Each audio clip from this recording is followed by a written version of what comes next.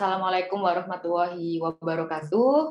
Uh, selamat pagi untuk uh, semuanya. Jadi uh, pertama-tama saya ingin mengucapkan sebagai perwakilan dari PT Teknindo Geosistem Unggul uh, mengucapkan terima kasih yang sebanyak-banyaknya atas uh, kesempatan kali ini. Ini adalah kesempatan kami ketiga dalam mengisi pelatihan profesional untuk SKPI mahasiswa tingkat akhir program studi teknik sipil Universitas Muhammadiyah Sumatera Utara. Jadi eh, khususnya Bapak Ade, terima kasih Pak eh, telah mengundang kami kembali. Semoga ke depannya semakin sering eh, kita melakukan kerjasama, mengadakan kerjasama seperti ini, dan jangan kapok Pak untuk mengundang atau melibatkan kami di eh, pelatihan-pelatihan untuk eh, khususnya di program studi teknik sipil Universitas Muhammadiyah Sumatera Utara. Ya, Insya Allah, jadi, Insya Allah nggak kapok bu, makin makin candu nanti, makin ya, candu. Ya, baik Pak.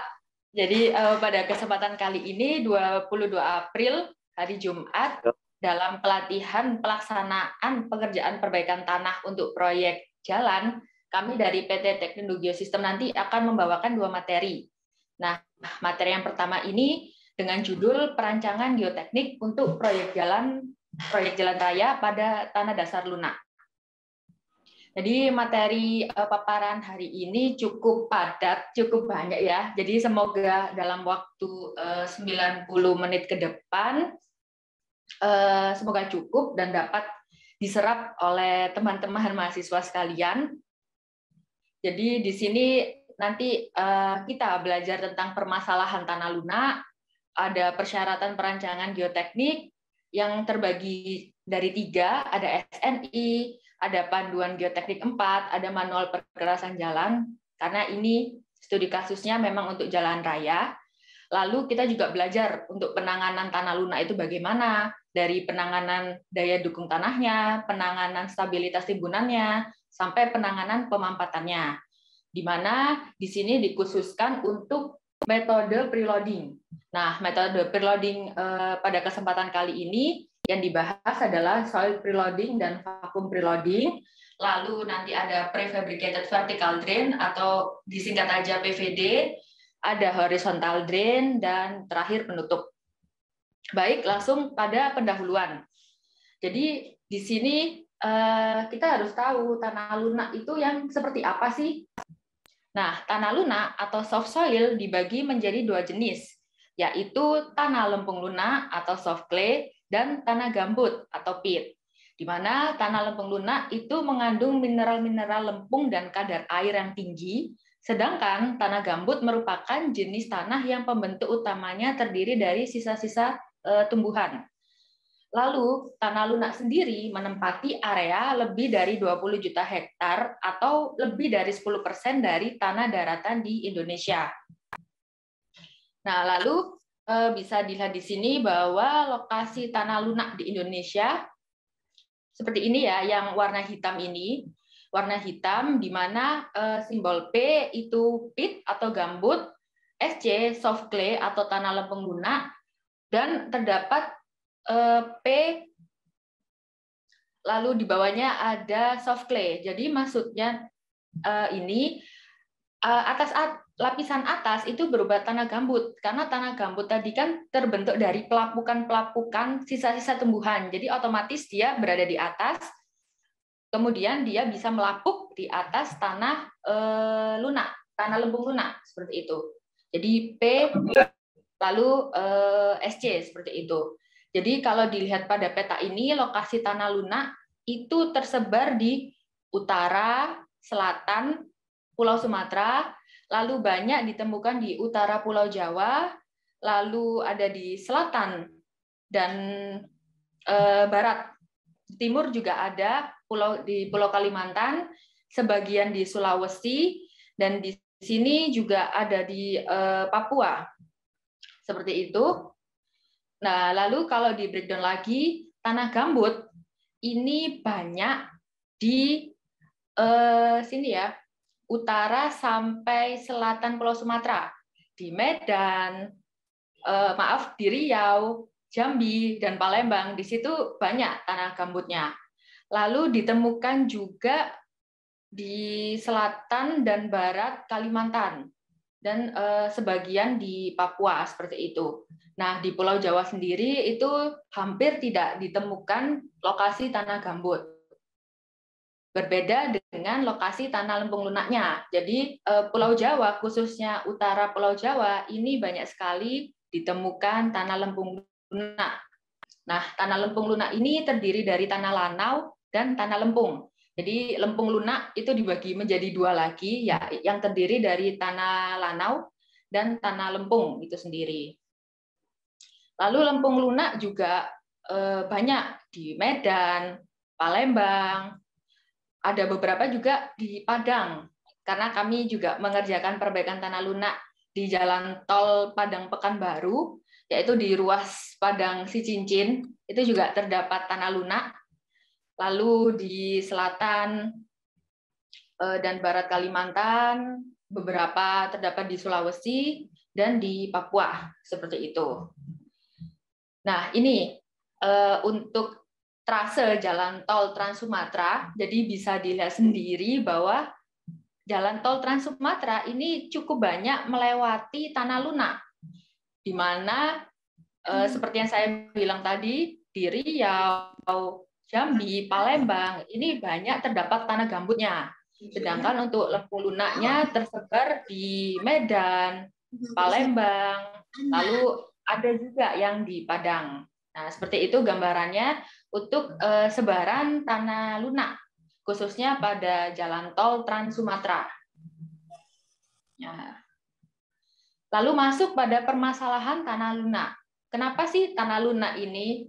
Apakah kita tidak boleh membangun suatu jalan di atas tanah lunak? Jadi tanah lunak, tanah lumpung lunak ini eh, memiliki beberapa permasalahan ya. Karena karakteristiknya sendiri, tanah lumpung lunak memiliki daya dukung yang relatif rendah. Lalu pemampatannya relatif besar serta lama. Jadi dengan karakteristik itu, permasalahan yang dapat timbul pada pembangunan di tanah lempung lunak itu beban bangunan yang mampu dipikul oleh tanah dasar relatif terbatas karena dia daya dukungnya juga rendah sehingga desain bangunan menjadi terbatas pula. Lalu karena dia punya karakteristik pemampatan yang besar dan lama, otomatis bangunan di atasnya juga mengalami penurunan yang relatif besar dan berlangsung relatif lama juga, sehingga bangunan akan mengalami kerusakan. Lalu akibatnya eh, bisa mengganggu bangunan atau lingkungan di sekitarnya. Nah, ini beberapa contoh gambaran eh, kasus di lapangan ya tentang permasalahan pembangunan pada tanah lempung lunak. Ya, jadi di sini eh, kami gambarkan kembali bahwa sehingga apabila dibangun uh, timbunan ya, contohnya uh, yang sederhana dibangun timbunan dulu. Jadi daya dukung rendah otomatis nggak kuat menahan timbunan itu, ya terjadilah longsor, terjadilah ambles. Otomatis garis merah ini kita mau membangun suatu timbunan dengan Eh, tinggi tertentu itu tidak dapat mencapai, tidak dapat dicapai. Garis merah ini tidak dapat dicapai. Lalu yang kedua tadi penurunan besar dan lama. Karena dia mampatnya besar dan lama, otomatis timbunan di atasnya juga ikut turun. Sehingga lagi-lagi garis merah ini tidak pernah dapat tercapai. Nah, lanjut apabila di area sekitar tanah lunak itu ada eh, yang panjang atau saluran-saluran gitu, nanti dia bisa mengganggu bangunan di sekitarnya. Karena dia mengalami eh, pemampatan, pemampatannya menghantam atau ya mengenai si sisi tiang panjang ini sehingga tiang panjangnya juga miring, bisa retak juga kalau nanti ada saluran-saluran, nanti tanahnya bisa e, naik ke atas seperti itu karena hantaman dari e, tanah lunak itu sendiri. Nah, ini beberapa contoh di lapangan kasus real ya. Jadi eh, timbunan tanah di tepi sungai. Nah, kita tahu bahwa tepi sungai, tepi pantai, tepi laut itu juga dominan tanah lunak. Jadi apabila langsung ditimbun timbunan di atasnya, ya terjadilah seperti ini, longsor. Nah, ini sudah ada eh, kalau sudah ada seed pile seed pile kayak gitu, ya itu juga mengganggu. Nah, ini contoh di jalan. Jadi jalan dibangun di atas tanah lunak, terjadilah longsor karena daya dukungnya rendah. Padahal sebelahnya rumah. Nah, apabila memang ekstrim, ya bisa sampai menghantam rumah yang ada di sekitarnya. Lalu ini timbunan tanah di jembatan. Nah, ini eh, suatu kasus di mana kita tahu bahwa jembatan ini kan uh, berdiri di atas yang panjang. Jadi uh, struktur di bawahnya sudah fix seperti itu. Sedangkan opritnya atau plat injaknya untuk dari jalan uh, yang kita lewati menuju jembatan yang disebut oprit itu tadi itu dibangun di atas tanah lunak. Nah, padahal waktu itu kasusnya jembatan ini tiang-tiangnya sudah dibangun, bentang-bentangnya juga udah dibangun. Lalu karena eh, si opritnya dibangun di atas tanah lunak tadi, tanah lunaknya mengalami pemampatan. Nah, pemampatan eh, elevasi opritnya juga turun karena dia mampat juga menghantam eh, sisi-sisi lainnya. Nah, kebetulan dan memang ada sih di sisi-sisi lainnya itu si struktur-struktur jembatan itu. Jadilah tanah lunak itu menghantam struktur yang sudah ada. Nah, makanya jembatannya bisa kolap seperti ini. Nah, ini juga penurunan opri jembatan, sama seperti kasus tadi. Jembatan yang dilewati mobil-mobil ini berdiri di atas suatu yang sudah stabil, struktur yang sudah fix, yaitu tiang pancang. Sedangkan plat injaknya ini, eh, opritnya itu dibangun di atas tanah lunak. Nah, apabila tanah lunak itu tidak kita baguskan dulu, kita, tidak kita eh, beri perbaikan dulu, ya lama-lama terjadilah pemampatan. Terjadi pemampatan, opritnya juga ikut turun. Nah, makanya sering kali apabila kita lewat eh, oprit jembatan, itu kadang agak lompat karena perbedaan elevasi itu, perbedaan elevasi antara jembatan yang sudah berdiri di struktur yang kokoh, yang fix, eh, berbeda dengan oprit yang dibangun di atas tanah lunak, yang dia akan mengalami pemampatan. Itu sama halnya dengan eh, penurunan perkerasan jalan. Jadi kita tahu bahwa jalan ini kan didesain, direncanain dengan uh, elevasi muka air tertinggi ya. Jadi elevasi jalan itu harus melebihi elevasi muka air banjir tertinggi. Nah, kalau jalan itu lagi-lagi dibangun di atas tanah lunak, tanah lunak mengalami pemampatan, otomatis elevasi jalannya juga ikut turun. Akibatnya, apabila banjir karena dia sudah tidak memenuhi kriteria di atas muka air banjir tertinggi itu ya otomatis kerendam banjir itu. Lalu juga eh, tanah lunak itu juga bisa mengakibatkan kerusakan pada perkerasan lentur.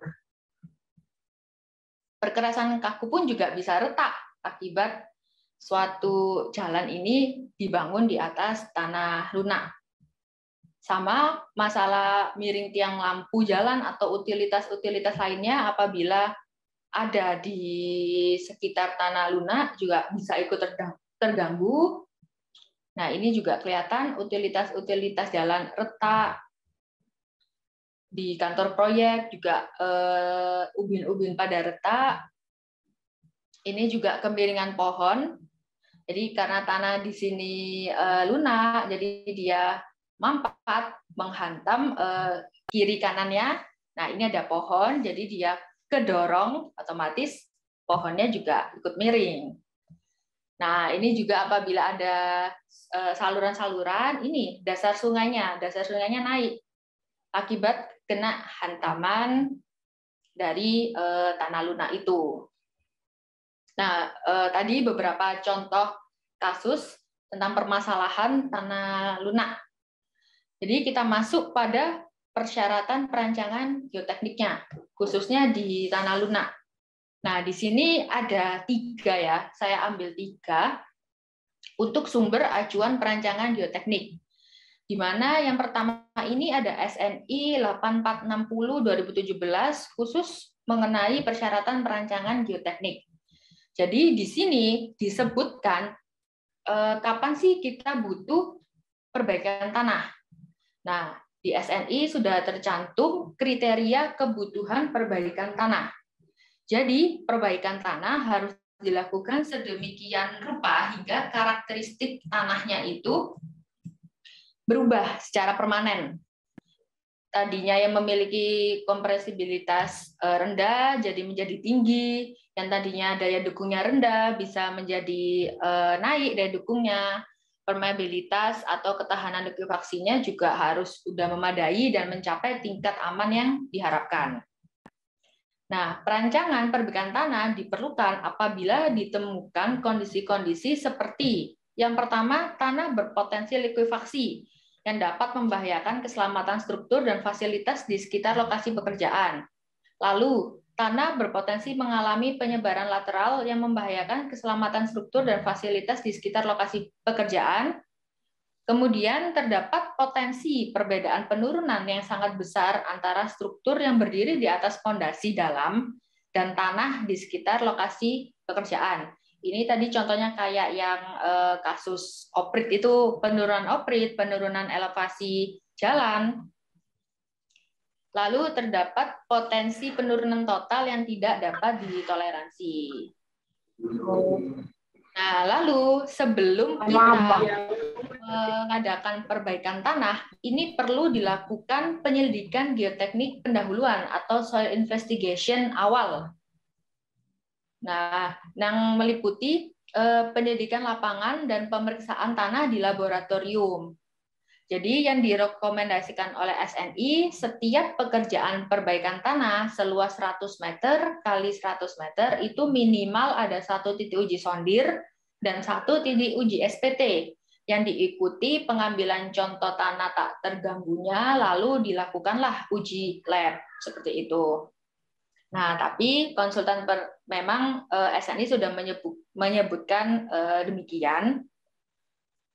Lalu di sini konsultan perencana memiliki wewenang penuh untuk meminta pengurangan atau penambahan jumlah titik pendidikan tanah daripada yang diatur di atas. Jadi satu titik uji sondir, satu titik uji SPT diikuti dengan uh, uji labnya itu adalah awal awal soil investigation untuk kita memutuskan metode apa atau sistem perbaikan tanah manakah yang cocok untuk diaplikasikan di suatu proyek. Nah, seperti ini. Ini dalam SNI ada tabel untuk pemilihan metode perbaikan tanahnya. Salah satunya dilihat dari jenis tanahnya. Jadi dari kita mengambil sampel eh, tanah tadi dibawa ke uji lab, otomatis pengalam eh, dilakukan beberapa kali ini eh, uji. Nah, salah satunya ada uji ayakan yang memang untuk mengetahui tanah ini dominan apa, persentase tanah ini eh, seperti apa, apakah dia dominan kerikil, dominan pasir, lanau, lempung. Nah, itu didapatkan dari uji lab. Nah, makanya itu sangat penting sekali dari jenis tanah untuk kita melakukan pemilihan metode perbaikan tanah apa yang cocok kita aplikasikan di suatu proyek. Nah, jadi eh, misalnya di sini eh, dominannya tanah pasir. Oh, berarti yang cocok eh, pakai metode fibrokompaksi atau melalui getaran ya. Seperti itu. Sedangkan kita tadi bahas uh, di awal ada metode preloading, preloading, uh, preloading atau vakum preloading itu hanya cocok untuk di tanah lunak, di tanah lempung lunak, di mana uh, tanah lempung lunak itu terdiri dari lempung, lanau, dan bisa sedikit pasir. Ya, jadi metode preloading khususnya solid preloading ini bisa diaplikasikan di tanah yang dominan lempung, lanau, dan sedikit pasir. Nah, beda halnya dengan vakum preloading. Jadi vakum preloading cakupan eh, tanahnya itu lebih sedikit. Bisa dilihat di sini bahwa vakum preloading cocok untuk tanah yang dominan lempung sedikit lanau. Nah, sudah tidak boleh ada pasirnya lagi seperti itu. Jadi uji lab itu juga sangat penting sekali untuk mengetahui jenis-jenis tanahnya sehingga kita dapat menentukan metode atau sistem perbaikan tanah mana yang nantinya kita aplikasikan pada suatu proyek. Lalu setelah kita memilih eh, perbaikan tanah, ternyata misalnya oh ternyata di proyek ini eh, tanahnya lempung lanau, tidak ada pasirnya, cocok untuk vakum preloading. Nah, tapi eh, soal investigasi yang awal itu sebenarnya belum cukup. Jadi harus ada penyelidikan tanah lebih lanjut. Nah, jadi di sini SNI juga sudah mensyaratkan ada jumlah minimum penyelidikan tanah lanjutan yang tergantung dari jenis struktur yang akan dibangun di suatu proyek. Misalnya, di jalan raya. Kan ini termasuk struktur memanjang, itu disyaratkan pendidikan tanah lanjutan. Jadi ada satu titik SPT boleh, atau dua eh, SPT dan sondir juga boleh, itu per 50 sampai 200 meter. Jadi tadinya yang awalnya 100 meter kali 100 meter untuk mengetahui uh, metode perbaikan tanah apa yang digunakan, Lalu untuk sampai ke tahap pelaksana ini harus dilakukan pendidikan tanah lebih lanjut di mana untuk jalan raya ada satu titik pendidikan tanah lagi di mana eh, range-nya itu ada di 50 sampai 200 meter seperti itu. Lalu panduan eh, eh, sumber acuan yang kedua ada panduan geoteknik 4 tentang desain dan konstruksi. Nah, di mana di sini eh, dibagi bahwa beban lalu lintas untuk analisis timbunan jalan ini dibagi berdasarkan kelas jalannya. Nah, misalnya kelas jalan jalan raya itu kelas jalan satu, berarti nanti untuk analisa timbunannya itu memakai beban lalu lintas sebesar 15 kPa. Nah, di sini juga eh, diatur eh, bahwa Tadi misalnya jalan kelas 1 itu 15 kPa. Nah, tapi 15 kPa ini eh, beban lalu lintas 15 kPa ini sampai ke tanah dasar, sampai ke tanah lunak itu sudah nggak sebesar 15 kPa lagi, tetapi memakai eh, formula seperti ini. Formula seperti ini di mana 15 kPa tadi itu sampai ke tanah dasarnya itu berapa kPa itu tergantung dari tinggi timbunannya. Nah, bisa dilihat di grafik ini bahwa semakin tinggi, semakin tinggi timbunan, itu beban lalu lintas yang dirasakan oleh tanah dasar itu semakin kecil. Seperti itu. Jadi 15 kPa ini kita aplikasikan di badan timbunan jalan, katakanlah 5 meter itu akan lebih besar dibanding dengan kita mengaplikasikan eh, beban lalu lintas 15 kPa di badan di tinggi badan timbunan jalan setinggi 10 meter seperti itu. Lalu adapun faktor keamanan untuk analisis timbunan di badan eh, jalan untuk kelas jalan 1 itu faktor keamanan atau safety faktornya sebesar 1,4. Jadi perlu diperhatikan. Tadi kan memang eh, daya dukung tanah lembung lunak itu sangat rendah.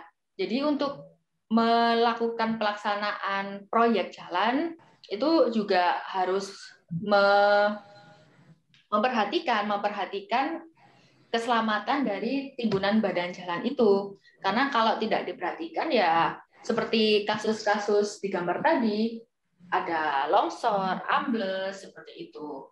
Nah, perlu diperhatikan juga bahwa eh, ada keruntuhan timbunan itu dibagi menjadi beberapa tipe. Nah, yang pertama tipe 1 ini adalah tipe yang kelongsorannya tidak sampai ke kaki timbunan. Ini biasanya disebut dengan foundation failure atau above to failure. Above to berarti di atas kaki, di atas kaki timbunan. Ada juga kasus yang eh, timbunan runtuhnya itu sampai kaki timbunan. Nah, ini dinamakan internal internal failure atau to failure. Lalu tipe keruntuhan timbunan yang ketiga ini semuanya overall, overall atau disebut dengan base uh, failure seperti itu.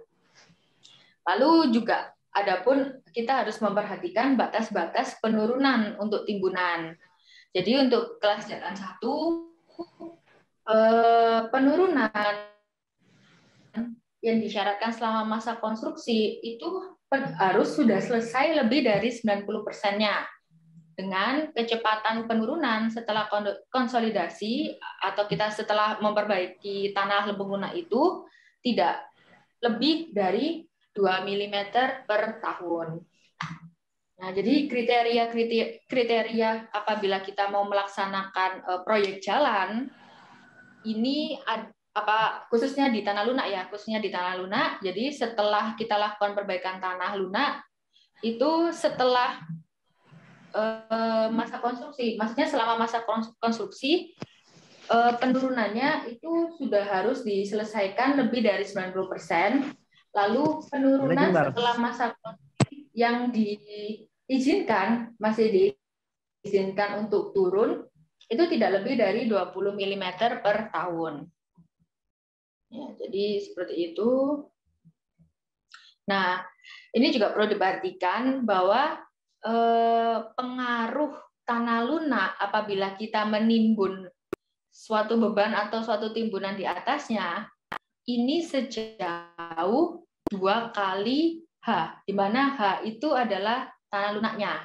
Jadi kita misalnya punya kedalaman tanah lunak 10 meter, kita timbun, nah pengaruh pergerakan lateral itu, karena dia kan mempunyai daya dukung yang rendah ya tadi, sebesar 20 meter, 20 meter eh, dari kaki timbunannya seperti itu. Lanjut pada acuan persyaratan ketiga yaitu tentang manual perkerasan jalan. Nah, jadi juga diatur lagi di sini batas penurunan pekerjaan jalan, perkerasan jalan apabila memang sudah beroperasi. Jadi di sini untuk eh, penurunan total selama traffic berjalan, selama beban lalu lintas berjalan, batas izinnya boleh turun sebesar 100 eh, mm atau 10 cm. Ya, sama eh, sama seperti ini. Jadi eh, tadi pada acuan kedua di paduan geoteknik, ini kan penurunan yang diizinkan selama masa operasional per tahunnya tidak boleh lebih dari 20 mili tidak boleh lebih dari 20 mili. Nah, di sini di manual uh, perkerasan jalan itu juga diatur penurunan total. Penurunan total selama masa operasional tidak lebih dari 100 mili. Nah, umumnya ini kan jalan umur layanannya itu sekitar 10 tahun. Nah, jadi misalnya penurunan total ini 100 dibagi 10 tahun, apabila merata ya, apabila merata per tahunnya, ya eh, paling paling maksimal itu jalan itu boleh turun tidak lebih dari 10 mili itu per tahunnya selama 10 tahun. Karena di sini sudah dibatasi penurunan total yang boleh terjadi setelah masa operasional itu tidak lebih dari 100 mili. Nah, seperti itu. Lalu, nah ini juga elevasi minimum timbunan badan jalan. Karena e, mendesain jalan itu juga harus memperhatikan muka atau tinggi e, muka air banjir tertingginya. Nah, misalnya e, untuk jalan tol, jalan bebas hambatan, ini tinggi tanah dasar di atas muka air tanah disyaratkan 1700 mili. Lalu ditambah lagi dengan 500 eh, mili untuk mengantisipasi muka air banjir tertingginya. Jadi gambarannya Nah, seperti ini. Jika eh, muka air tanahnya di sini untuk elevasi jalan, elevasi timbunan badan jalan itu ditambah dengan 1,7 meter, ditambah lagi dengan 0,5 eh, meter untuk elevasi eh, air banjir tertingginya atau maksimumnya seperti itu.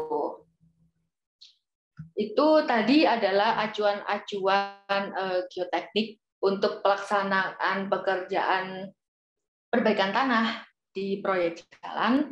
Lalu sekarang kita masuk bagaimana sih menangani tanah lunak itu sendiri. Seperti yang sudah kita bahas tadi bahwa tanah lunak atau tanah lampung lunak memiliki daya dukung yang rendah, lalu penurunannya besar dan lama, serta bisa mengganggu bangunan di sekitarnya. Nah, yang pertama, penanganan daya dukung tanah. Jadi daya dukungnya kan rendah tadi. Daya dukung rendah, otomatis dia tidak punya perlawanan, tidak punya pertahanan ya. Bukan perlawanan, dia tidak punya pertahanan atau tidak punya resisten seperti itu. Nah, kalau tidak punya pertahanan apabila kita nimbun timbunan di atasnya, misalnya timbunannya berupa pasir ya, umumnya atau sirtu, umumnya timbunan-timbunan untuk badan uh, jalan. Nah, uh, tidak punya pertahanan itu, ya timbunan di atasnya itu bisa masuk ke dalam tanah lunak itu. Tanah lunaknya juga bisa naik ke rongga-rongga pasir atau sirtu itu sehingga bercampur Nah, ini tidak diinginkan karena kan tanah lunak atau tanah lempung lunak dikategorikan sebagai tanah yang jelek ya kalau untuk konstruksi. Sedangkan tanah pasir, sirtu itu tanah yang baik untuk konstruksi. Nah, tanah jelek, tanah yang baik eh, kan tidak boleh bercampur untuk eh, agar memberikan umur layanan yang panjang pada suatu konstruksi. Sehingga kita perlu memisahkan, kita perlu eh, material untuk separator antara material antara tanah yang jelek atau tanah lempung lunak itu dengan tanah yang baik atau tanah pasir, tanah sirtu dengan geosintetik. Nah, jadi geosintetik itu eh, banyak macam-macam ya. Salah satunya di sini adalah geotekstil, di mana di sini untuk daya dukung tanah, geotekstil pertama bisa digunakan untuk separator. Jadi eh, pasir tidak akan bercampur ke tanah lempung, tanah lempung pun juga tidak bisa masuk ke dalam rongga-rongga tanah lempung tidak bisa masuk ke dalam eh, rongga-rongga pasir seperti itu. Nah, seperti ini geotekstil di lapangan. Jadi di bawahnya, ini di bawahnya adalah tanah lunak, tanah dasar yang lunak kita beri separator dengan geotekstil, lalu baru dibangun timbunan di atasnya agar tidak bercampur. Lalu yang kedua, penanganan stabilitas timbunan. Nah, lagi-lagi daya dukung rendah itu mengakibatkan dia mampu menerima timbunan di atasnya menjadi terbatas. Otomatis kalau timbunan kita eh, gelar melebihi timbunan kritis atau beban yang beban maksimum yang masih dapat sanggup ditahan oleh tanah lunak itu ya akibatnya eh, amblas longsor seperti itu. Jadi eh, dengan adanya daya dukung rendah, timbunan yang misalnya rencananya 10 meter ya terbatas bisa cuma 3 meter sesuai dengan tinggi kritis atau tinggi yang masih mampu dipikul oleh tanah dasar. Nah, kan tidak mungkin e, mengurangi timbunan seperti itu. Jadi e, geosintetik itu juga bisa digunakan untuk stabilitas timbunan tanah. Jadi dalam hal ini geosintetik berperan menjadi reinforcement atau perkuatan. Nah, ini tadi kita kalau bicara tentang stabilitas ya, itu kalau longsor, kalau ambles bisa dikatakan kalau SF atau safety factor, faktor keamanannya itu kurang dari satu. Nah, kalau pakai geosintetik, contohnya geotekstil lagi, itu dapat meningkatkan stabilitas tanah, menambah kekuatan kekuatan tanahnya sehingga safety faktornya bisa lebih dari satu. Nah, kok bisa? Kok bisa geosintetik atau contohnya geotekstil tadi bisa meningkatkan stabilitas timbunan tanah? Nah, jadi gambarannya seperti ini. Kita tahu bahwa SF itu adalah sesuatu yang menahan dibagi dengan sesuatu yang mendorong. Kalau SF-nya kurang dari satu, berarti sesuatu yang menahan ini kurang, rendah.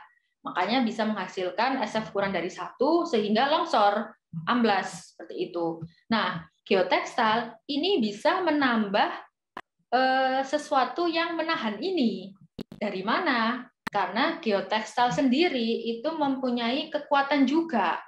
Nah, kekuatan dikalikan dengan eh, jarak sehingga tercipta momen ya. Karena di sini kita bicaranya momen. Jadi kekuatannya ini dikalikan dengan jarak terhadap eh, pusat longsornya itu bisa menambah momen atau sesuatu yang menahan ini. Jadi geotekstil itu sudah punya kekuatan sendiri, sudah punya kekuatan tarik sendiri sehingga dia dapat membantu tanah dasar uh, yang khususnya tanah lempung lunak yang memang kekuatannya itu rendah menjadi meningkat dan timbunan di atasnya itu bisa menjadi lebih stabil. Nah, apalagi geotekstil itu juga bisa memang direncanakan berlapis-lapis. Untuk itu juga bisa ditambahkan dengan eh, kekuatan tariknya di lapis kedua, dikalikan lagi dengan jarak menuju pusat eh, longsornya, dibagi dengan ini eh, sesuatu yang mendorongnya. Jadi kalau lapisnya tiga, ya ketambahan tiga kekuatan tarik geotekstil itu tadi. Sampai ke lapis ke N seperti itu. Nah, ini ini contoh di uh, proyek. Ini tepi pan, uh, laut pantai. Kita tahu tadi bahwa memang tepi pantai, tepi laut, tepi sungai itu tanah dasarnya dominan tanah lempung lunak sehingga apabila ada timbunan di atasnya untuk mengamankan timbunan di atasnya inilah dipasang geotekstil untuk reinforcement atau perkuatan. Nah, ini kelihatan ya, ini lapis satu, lapis dua, lapis tiga, dengan memang eh, dengan jarak yang sudah direncanakan. Lalu penanganan pemampatan tanahnya. Nah, ini yang eh, paling penting pada pekerjaan perbaikan tanah. Kita juga, eh, belajar dulu bahwa pemampatan tanah lempung apabila kita beri beban atau timbunan di atasnya itu dibagi menjadi tiga. Ada pemampatan segera. Jadi pemampatan sesaat. Dia begitu dikasih beban, langsung turun. Seperti itu. Segera, sesaat. Ada pemampatan primer, atau bisa disebut dengan konsolidasi primer. Ada pemampatan eh, sekunder juga. Nah, pemampatan primer ini terjadi karena adanya disipasi air pori dari dalam tanah. Jadi eh, kita juga harus tahu bahwa tanah itu eh, ada tiga struktur ya, ada tiga formasi, yaitu butiran tanah itu sendiri, lalu di atasnya nanti ada rongga-rongga. Nah, rongga-rongga itu bisa terisi air dan udara. Kita sebut air yang terperangkap di dalam pori itu disebut dengan air pori tanah. Nah, ada air pori, ada butiran tanah, ada air pori tanah dan ada udara. Nah, akibat beban, akibat beban di atas tanah lempung lunak, kan seolah-olah tanahnya seperti dikompres. Seperti dikompres. Nah, itu kan air porinya eh, tertekan ya, udara dan airnya itu tertekan, stres mencari jalan keluar. Nah, dengan seiring waktu dia bisa keluar dari dalam pori itu eh, pori tanah sehingga rongga tadi kan sudah nggak ada isinya, otomatis kan dia e, mengecil rongganya. Nah, proses itulah yang disebut dengan konsolidasi dan itu terjadi di pemampatan primer seperti itu. Jadi semoga sampai sini bisa dimengerti bahwa tanah itu terdiri dari e, tiga formasi, butiran tanah, air pori, dan udara. Dengan kita menambahkan beban, memberi beban di atas tanah, otomatis air pori, udara itu tertekan, tertekan sehingga dia keluar. Nah, proses keluarnya air, proses hilangnya udara itu sehingga air, e, porinya yang tadinya berisi air udara udah kosong, nggak ada isinya apa-apa, sehingga mampat. Nah, itulah yang disebut dengan proses konsolidasi atau pemampatan primer. Nah, lanjut, ternyata setelah proses itu ada pemampatan sekunder, di mana proses eh, pemampatan sekunder itu terjadi akib, eh, karena ini eh, butiran pori-pori tanahnya tadi kan sudah nggak ada air, udah nggak ada udara. Nah, dia ini apa ya me, membentuk bukan membentuk. Jadi kan tadinya ada isinya, sekarang sudah tidak ada isinya, jadi dia kayak reshaping gitu, membentuk, membentuk ulang sehingga dia bisa turun lagi. Nah, itulah yang dinamakan pemampatan sekunder. Kalau pada teori-teori pemampatan sekunder itu terjadi akibat krip. Krip, lelah, karena dia sudah mengalami uh, pemampatan primer, dia uh, kayak kita capek ya, kayak kita capek, misalnya duduk duduk uh, duduk dengan punggung agak bungkuk kan capek. Nah kita agak uh, senden misalnya, agak rebahan sedikit. Nah jadi kan kita ada perubahan nih, perubahan. Nah itu yang dilakukan tanah setelah konsolidasi primer ke pemampatan sekunder. Seperti itu gambarannya. Nah, lanjut. Salah satu metode untuk eh, menangani penurunan ta pemampatan tanah itu adalah metode preloading. Nah, di sini kita belajar juga bahwa eh, pada prinsipnya bangunan itu tidak boleh dibangun di atas tanah yang mudah memampat atau kompresibel. Contohnya tadi kan tanah lunak yang punya eh, karakteristik kompresibel seperti itu, apabila dikhawatirkan akan terjadi perbedaan penurunan atau differential settlement yang lebih besar daripada batas toleransi bangunan tersebut. Nah, untuk menanggulangi masalah tersebut, perlu dilakukan pemampatan awal. Jadi, eh, tadinya kan dia mudah memampat, mampatnya lama dan besar lagi. Nah, apabila langsung dibangun di langsung kita bangun be, e, timbunan, kita beri beban di atasnya, ya otomatis dia langsung mampat. Kalau dia mampat, bangunan atau timbunan yang kita berikan itu tadi juga ikut turun. Nah, itu kalau e, bangunannya udah beroperasi ya sangat bahaya bisa merusak ya, bisa merusak sebelum umur layanannya. Oleh karena itu, salah satu metode yang digunakan untuk mengatasi pemampatan tanah, kita lakukan pemampatan awal terlebih dahulu. Kita lakukan prakompresi tanah terlebih dahulu sebelum bangunan itu didirikan dengan tujuan menghilangkan semuanya atau sebagian besar penurunan konsolidasi yang akan terjadi akibat beban bangunan tersebut. Nah, penghilangan penurunan konsolidasi itu dilakukan dengan membebani tanah dengan beban awal atau preload yang lebih besar dari beban bangunan yang direncanakan.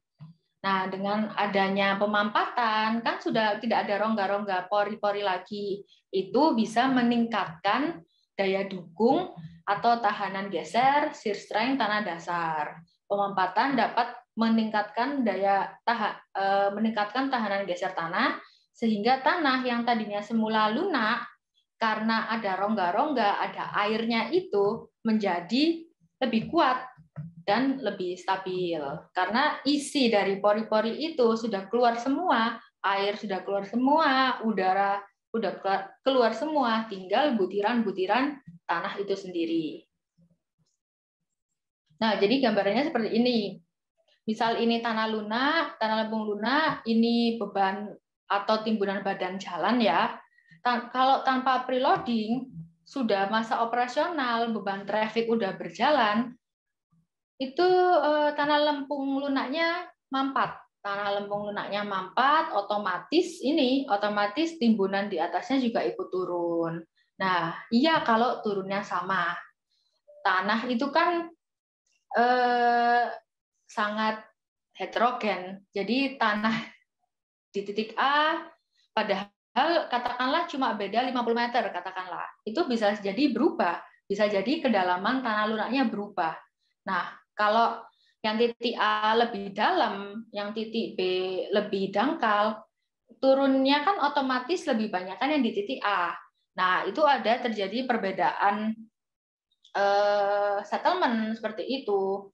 Jadi ya kalau ada perbedaan settlement, kalau udah ada perkerasan kaku, perkerasan beton, perkerasannya bisa retak-retak, bisa pecah seperti itu.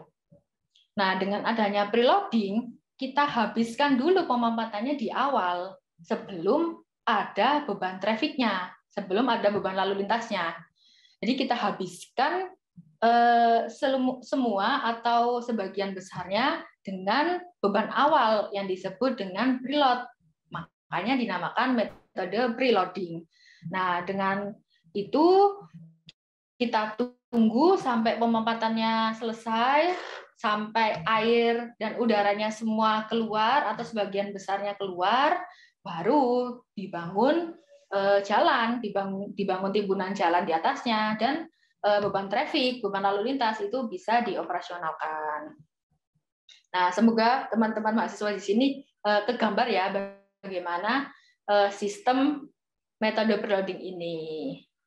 Nah, ini juga perlu diketahui bahwa tipe-tipe preloading ini juga cukup banyak, di mana dibagi menjadi uh, ada beban uh, preload eksternal, itu biasanya bebannya berubah tanah timbunan. Nah, inilah yang disebut soil preloading, karena kita memberikan preload atau beban awal berupa soil atau tanah. Lalu ada beban tangki air bisa digunakan, beban kolam air buatan bisa digunakan, dan beban-beban lainnya.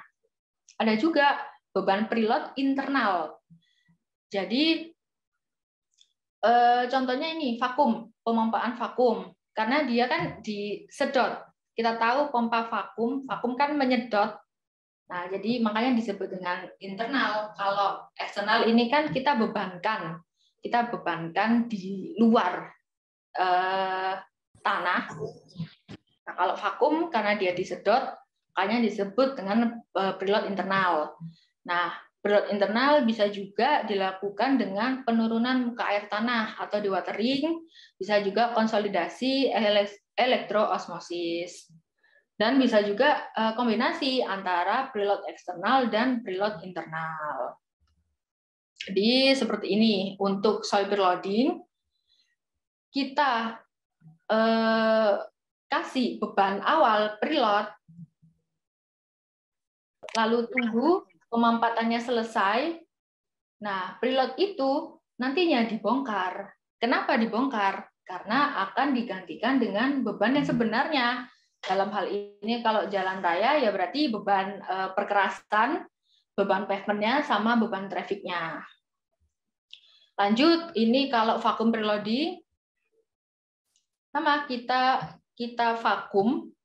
Nah, kita vakum lalu kita tunggu pemampatannya selesai, airnya, udaranya keluar semua, lalu vakum atau pompa vakumnya dimatikan, baru kita bangun eh, jalan di atasnya.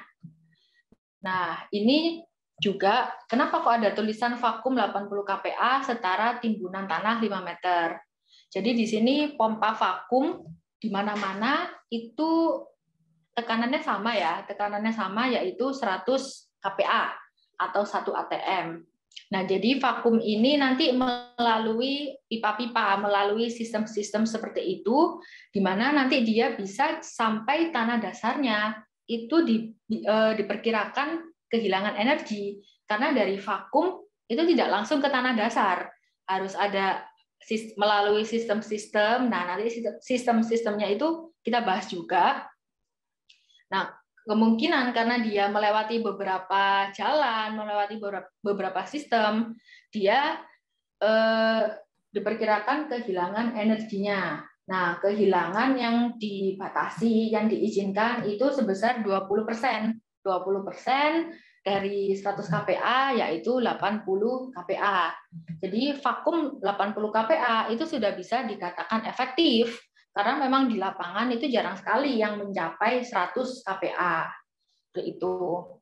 Nah, apabila kita bandingkan dengan soil preloading ya, apabila kita bandingkan dengan timbunan tanah, misal kita punya berat jenis tanah atau gamma tanah itu 1,6 ton per meter eh, kubik. Kalau dikonversikan ke tinggi timbunan tanah, vakum 80 kPa atau 8 ton per meter kuadrat. Terus kita punya gamma atau berat jenis satu tanah 1,6 ton per meter kubik itu setara dengan tinggi timbunan tanah 5 meter. Jadi maksudnya di sini adalah kita aplikasikan pompa vakum atau tekanan vakum sebesar 80 kPa sama dengan kita memberi beban tanah atau solid loading itu sebesar 5 meter. Nah, kalau kita tahu bahwa tadi kan eh, tanah lempung lunak daya dukungnya rendah. Jadi mau nggak mau, misalnya kita timbun 5 meter, ya jangan langsung 5 meter, karena itu pasti mengakibatkan longsor, amblas. Karena kan daya dukung rendah berarti beban yang mampu dipikul menjadi terbatas. Misalnya umumnya di lapangan itu per layer satu meter, lalu misalnya minggu berikutnya satu meter, minggu berikutnya lagi satu meter, otomatis kan membutuhkan lima minggu ya, lima minggu untuk mencapai timbunan tanah 5 meter. Nah, beda halnya dengan vakum preloading. Vakum preloading kita nyalakan, kita nyalakan pompa vakum itu dan menghasilkan tekanan sebesar 80 kPa itu sama dengan kita menimbun tanah setinggi 5 meter. Jadi nggak perlu nunggu 5 minggu lagi untuk mencapai 5 meter dengan kita langsung menyalakan pompa vakum lalu tekanannya menunjukkan hasil 80 kPa itu sudah setara dengan kita melakukan soil preloading dengan tinggi 5 meter. Seperti itu. Nah, jadi di sini kelihatan perbedaan antara soil preloading dan vakum dari eh, jenis bebannya dan dari cepatnya metode pelaksanaannya di lapangan. Nah, lalu sama dengan kita membongkar preload itu kan juga nggak mungkin langsung dibongkar setebal itu juga bergilir ber step by step untuk meng, apa ya mengunloading mengunloading atau mengkupas si beban pilot ini. Nah, kalau di vakum ketika eh, pemampatannya sudah selesai yang dinyatakan bahwa konsolidasinya sudah mencapai 90%, kita matikan pompa vakum di mana tekanannya 80 kPa itu setara juga kita dengan membongkar timbunan sebesar 5 meter seperti itu. Jadi di sinilah di sini juga lagi-lagi kelihatan e, metode pelaksanaan, durasi waktu pelaksanaan ketika kita mengunloading atau membuang beban preloadnya itu juga lebih cepat vakum preloading seperti itu. Nah, sama dengan tadi begitu sama dengan solid preloading tadi, begitu kita matikan pompa vakum, baru kita bangun eh, konstruksi yang akan direncanakan. Misalnya jalan, ya nanti sudah dibangun pavement dan beban traffic sudah bisa dijalankan, dioperasikan seperti itu. Ada juga kasus kombinasi soil dengan vakum preloading. Ini juga ada. Nah, ini kan tadi maksimal vakum itu 80 kPa ya. itu setara dengan timbunan 5 meter. Nah, contoh pada proyek peti kemas eh, lapangan penumpukan peti kemas di pelabuhan itu kan peti kemasnya ditumpuk katakanlah setinggi 5 atau sampai 6 tier kontainer liat ya. Nah, itu tuh kalau dikonversikan ke tinggi timbunan tanah bisa mencapai 6 meter sampai 7 meter di mana pompa vakum tadi kan maksimalnya cuma 5 meter. Nah, untuk mencapai itu kita bisa mengkombinasikan soil preloading dan vakum preloading. Karena ingat ingat tadi di awal bahwa prinsipnya preload itu harus lebih besar daripada si beban rencananya. Misalnya tadi beban jalan ya, beban jalan untuk kelas jalan 1 sebesar 15 kPa. Nah, berarti kita harus merencanakan preload itu lebih besar daripada 15 kPa seperti itu. Lanjut, ini langsung uh, soil preloading. Jadi seperti yang tadi sudah dibahas bahwa soil preloading cocok diaplikasikan pada tanah dasar yang dominan tanah lempung, lanau dan sedikit pasir. Nah, ini contoh di lapangan ya, contoh di lapangan ini timbunan tanahnya, timbunan tanahnya, timbunan tanahnya. Nah, jadi suatu sistem soil preloading itu harus ada beban. Kenapa harus ada beban atau pilot ini? Supaya air pori di dalam tanah, udara di dalam tanah itu bisa hilang. Udara hilang, air bisa keluar. Nah, air keluar itu nanti ditangkap oh, dan disalurkan menuju luar itu pakai material namanya PVD prefabricated vertical drain. Nah, nanti kita juga bahas di belakang. Kok bisa sih PVD ini bisa menangani pemampatan tanah seperti itu. Nah, jadi tanah dari eh, maaf air pori dari dalam tanah itu dikeluarkan keluar, keluar eh, tanah ya. Keluar tanah itu melalui PVD, prefabricated vertical drain. Nanti dari PVD ditangkap oleh horizontal drain. Nah, baru ini air porinya bisa keluar dari dalam tanah. Dan selama kita, eh, proses atau perbaikan tanah menggunakan metode soil preloading ini perlu dimonitoring.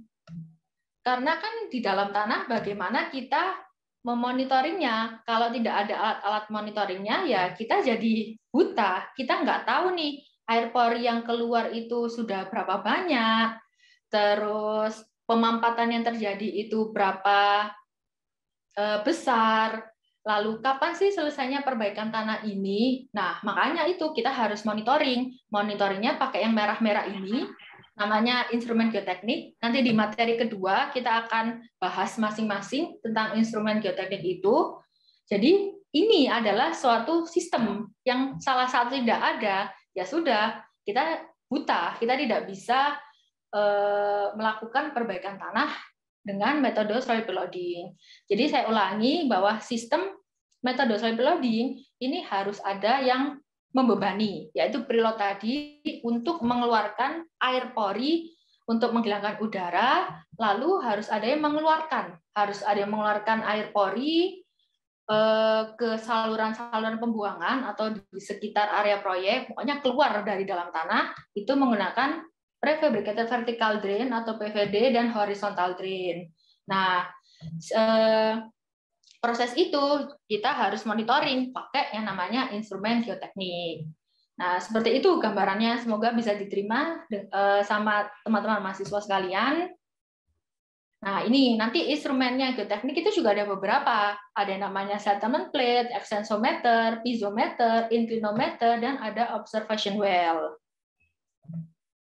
Nah, langsung jadi di sini proses uh, untuk perbaikan tanah lunak metode soil preloading yang tadinya kita punya tanah yang mudah mampat uh, dilihat dari tes-tes awal tadi ya, tes-tes awal pendidikan tanah, ada data sondir, SPT, ada data lab, kita lakukan perbaikan tanah, kita melakukan aktivitas preloading, kita kasih preloading, kita uh, aplikasikan PVD, horizontal drain, dan kita lakukan monitoring sampai nanti uh, akhirnya atau outputnya tanah yang tadi mudah mampat menjadi tanah yang uh, selesai mampat, udah lebih stabil seperti itu. Nah, kok bisa tahu dia selesai mampat? Dari monitoring instrumen geoteknik di mana nanti eh, ada beberapa grafik-grafik monitoring yang memang digunakan untuk mengevaluasi metode solid loading ini sampai dikatakan dia sudah selesai seperti itu. Nah, skenario-nya kita pasang PVD. Jadi di sini kenapa ada timbunan? Ini adalah untuk lantai kerja eh, alat PVD karena alat PVD ini PVD diinstal menggunakan alat berat, bisa eksavator, bisa crane yang sudah yang sudah dimodifikasi. Nah, dia butuh lantai kerja yang bagus karena kalau langsung di tanah lunaknya, ya otomatis dia akan jatuh karena tanah lunaknya kan eh, deduknya rendah. Nah, dia bisa terjungkal gitu ya si alat beratnya. Itu ada kasus kayak gitu. Untuk itu kita perlu lantai kerja yang cukup bagus untuk menopang si alat berat PVD, baru kita pasang PVD. Nah, lanjut. Nanti kita timbun dengan preload yang sudah direncanakan. Kita tunggu.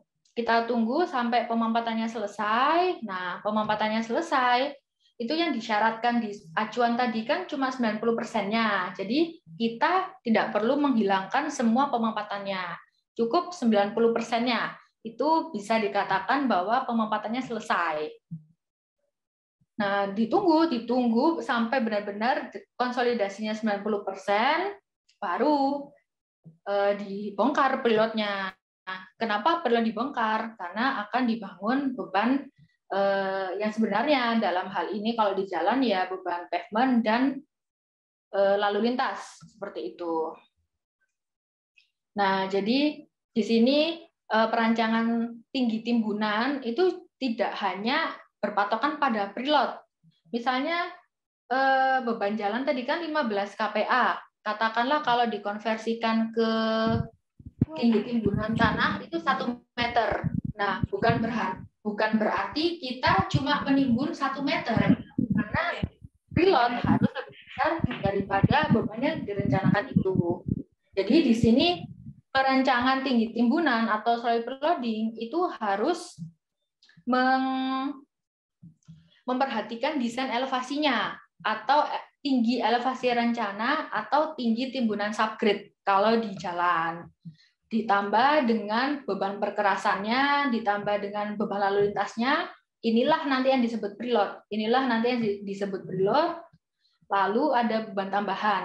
Kenapa ada beban tambahan? Nanti kita bahas di di next ya selanjutnya.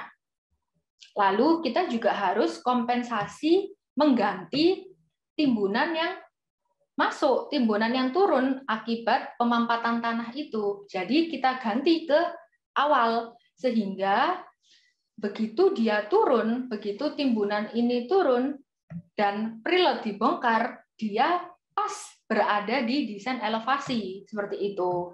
Jadi kan pasti di suatu proyek jalan raya tinggi elevasi eh, timbunan jalan itu kan sudah pasti sudah direncanakan di mana tadi di acuan harus berapa meter di atas tinggi muka air tanah. Ditambah lagi harus ditambah sekian eh, senti untuk mengantisipasi muka air banjir tertingginya. Nah, kita lakukan perbaikan tanah juga harus memperhatikan itu di mana apabila kita sudah menimbun timbunan atau soil loading ini, begitu dia turun, dia sudah pas berada di desain elevasinya. Nah, inilah yang disebut preload, beban perkerasan, lalu lintas, dan tambahan. Dan kita nanti bongkar, uh, unloading, lalu uh, beban yang sesungguhnya bisa dioperasikan. Jadi, soil preloading ini kita juga harus memperhatikan desain elevasi dan mengganti timbunan penurunan yang sudah masuk ke dalam tanah itu yang sudah mengalami pemampatan penurunan kita ganti di atasnya seperti itu Nah, ini contoh ya. Jadi misalnya existing ground atau elevasi existing berada di plus 25. Lalu lantai kerja alat PVD itu minimal 0,5, umumnya 0,5 meter sampai 1 meter. Nah, dipasang PVD. Lalu kita timbun eh, beban eh, eh, bukan beban, timbunan, timbunan elevasi bisa dilihat di sini dari existing ground ke subgrade itu berapa meter. Jadi sekitar 7 meter. Nah, inilah inilah desain elevasi jalannya. Inilah elevasi subgrade rencananya sebesar 7 meter ini. Jadi kita timbun, kita rancang di soil preloading seperti itu, lalu ditambahkan dengan beban eh, bukan beban tinggi penurunan. Jadi estimasi penurunan setelah diperhitungkan sebesar 1,2 meter, ditambahkan di soil preloading itu, lalu ada preload. Nah, di mana preload tadi terdiri dari beban perkerasan, beban lalu lintas, dan beban tambahan. Seperti itu. Nah, lalu ditunggu sampai penurunannya, eh, maaf, sampai pemampatannya selesai. Nah, di sini turun, turun sebesar 1,294, di mana elevasinya menjadi yang tadinya plus 38 menjadi plus 37. Lalu preload dibongkar. Nah, harus begitu preload dibongkar harus eh, sesuai dengan finish subgrade tadi atau desain elevasi tadi. Baru kita bangun perkerasan dan lalu lintas bisa dioperasionalkan. Jadi intinya di perbaikan tanah menggunakan soil prodding itu dengan desain elevasi atau subgrade rencana setinggi 7,655 meter ini kita berikan preload, kita berikan soil preloading setinggi 13,119 meter ini dan estimasi turunnya 1,294 ini. Jadi kita timbun timbunan setinggi 13 meter, estimasi turunnya sampai e, konsolidasi 90% itu sebesar 1,3 ini, begitu preload dibongkar, harus sesuai dengan finish subgrade-nya atau e, desain elevasinya, seperti itu. Nah, ini tadi, kenapa sih kok perlu beban tambahan? Karena SNI mensyaratkan load ratio. Nah, load ratio itu apa? Jadi beban total pra pembebanan atau preload tadi yang diaplikasikan ke tanah harus memenuhi kondisi ini. Jadi preload itu harus lebih besar atau sama dengan 1,3 kali beban yang direncanakan. Kalau gaya angkat tidak diperhitungkan. Kalau gaya angkat diperhitungkan, bisa lebih besar atau sama dengan 1,2 kali beban yang uh, direncanakan seperti itu. Nah, perlu uh, kami sampaikan juga ini banyak yang uh, masih salah persepsi ya bahwa tadi beban jalan raya misalnya kelas jalan satu kan 15 kPa. Bukan berarti preloadnya itu sebesar 1,3 kali 15 kPa. Nah, bukan seperti itu. Jadi apa sih yang dimaksud load ratio itu? Jadi load ratio itu adalah perbandingan beban yang kita aplikasikan ke tanah dasar selama perbaikan tanah dibagi dengan beban yang berada di atas tanah selama masa operasional. Jadi beban sebelum operasional dibandingkan dengan beban setelah operasional. Nah, beban sebelum operasional itu apa selama masa perbaikan tanah? Ya itu tadi yang sebesar 13,2 meter tadi yang terdiri dari timbunan-timbunan tanah elevasi, timbunan tanah pengganti penurunan, ditambah dengan preload, dibagi dengan timbunannya, timbunannya kan masih tersisa eh, ini timbunan desain elevasi sama timbunan kompensasi penurunan kan. Nah, itu ditambah dengan beban perkerasan dan lalu lintas. Kenapa kok preloadnya udah nggak ada lagi? Ya kan udah dibongkar. Udah dibongkar, kita ganti yang beban sebenarnya, yaitu beban perkerasan dan beban lalu lintas. Nah, perbandingan inilah yang harus 1,3 yang harus dipenuhi sesuai dengan SNI. Inilah yang disebut load ratio seperti itu. Jadi saya ulangi lagi, load ratio adalah seluruh beban yang diaplikasikan ke tanah sebelum operasional atau selama masa perbaikan tanah di mana ya itulah solid loading tinggi tinggi timbunan solid loading itu dibanding dengan semua beban di atas tanah selama masa uh, operasional. Jadi kalau udah operasional, preload udah nggak ada lagi. Yang tersisa hanyalah tinggi timbunan desain elevasi, tinggi timbunan kompensasi penurunan, ditambah dengan beban yang sesungguhnya, yaitu perkerasan dan lalu lintas.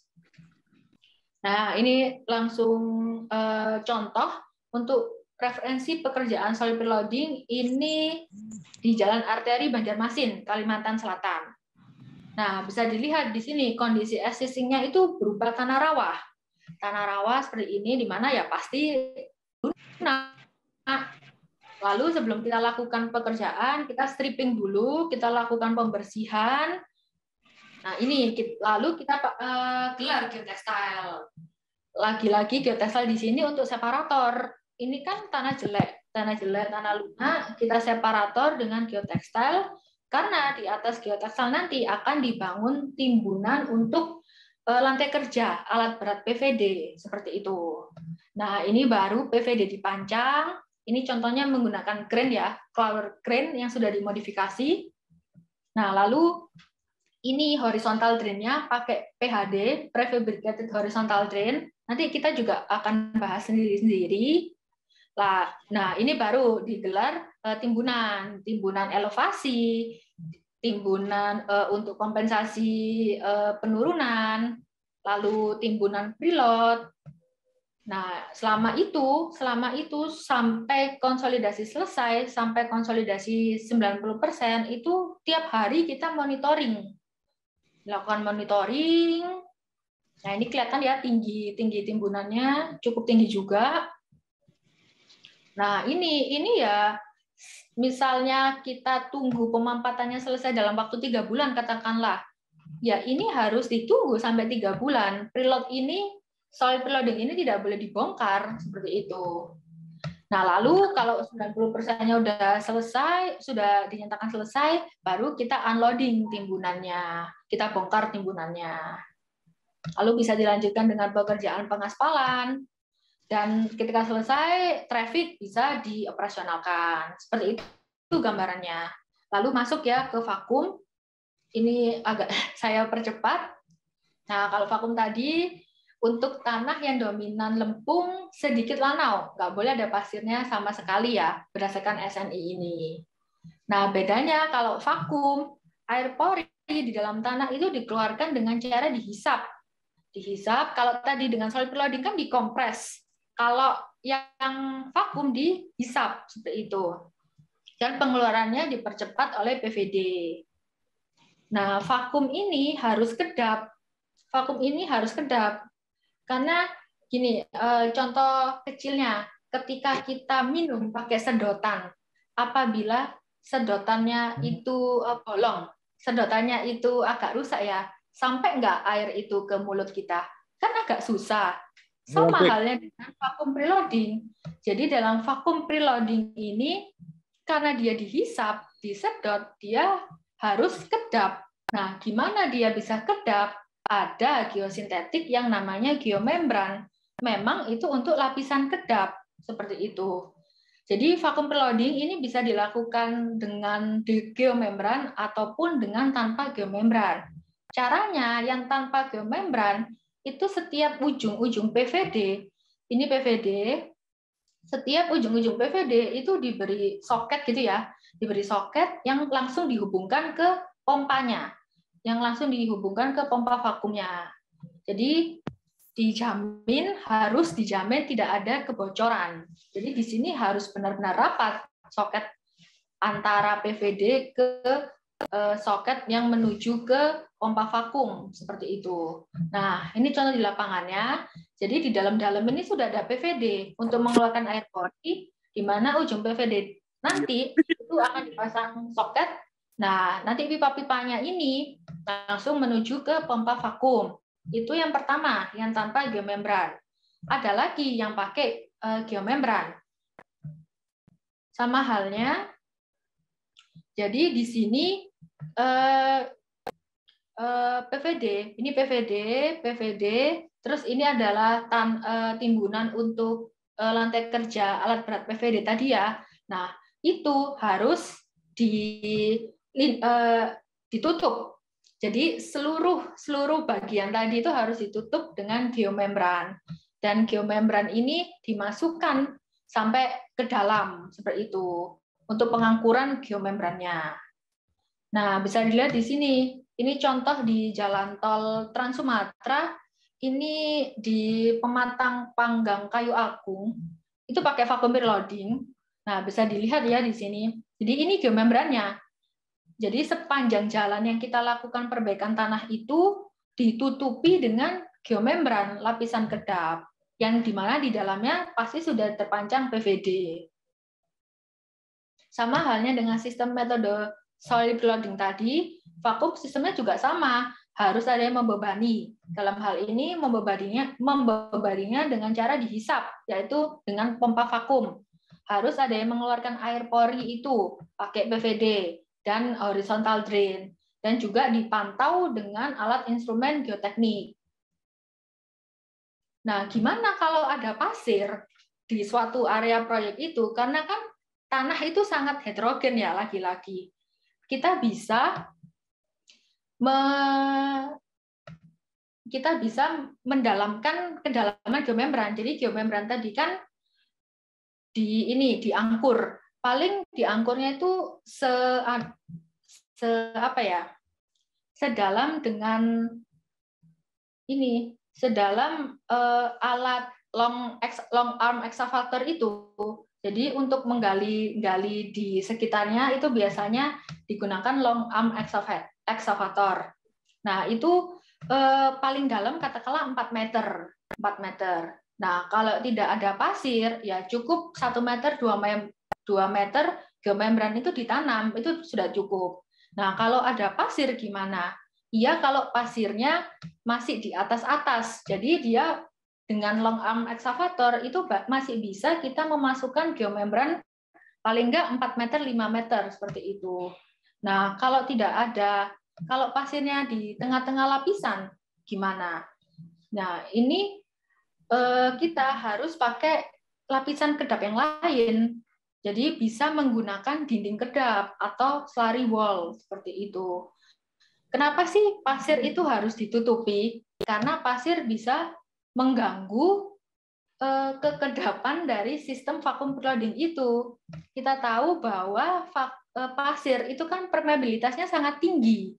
Jadi dengan adanya bocor, berarti kan ada bocor ya karena pasir permeabilitasnya tinggi. Jadi kan dia bisa meloloskan air.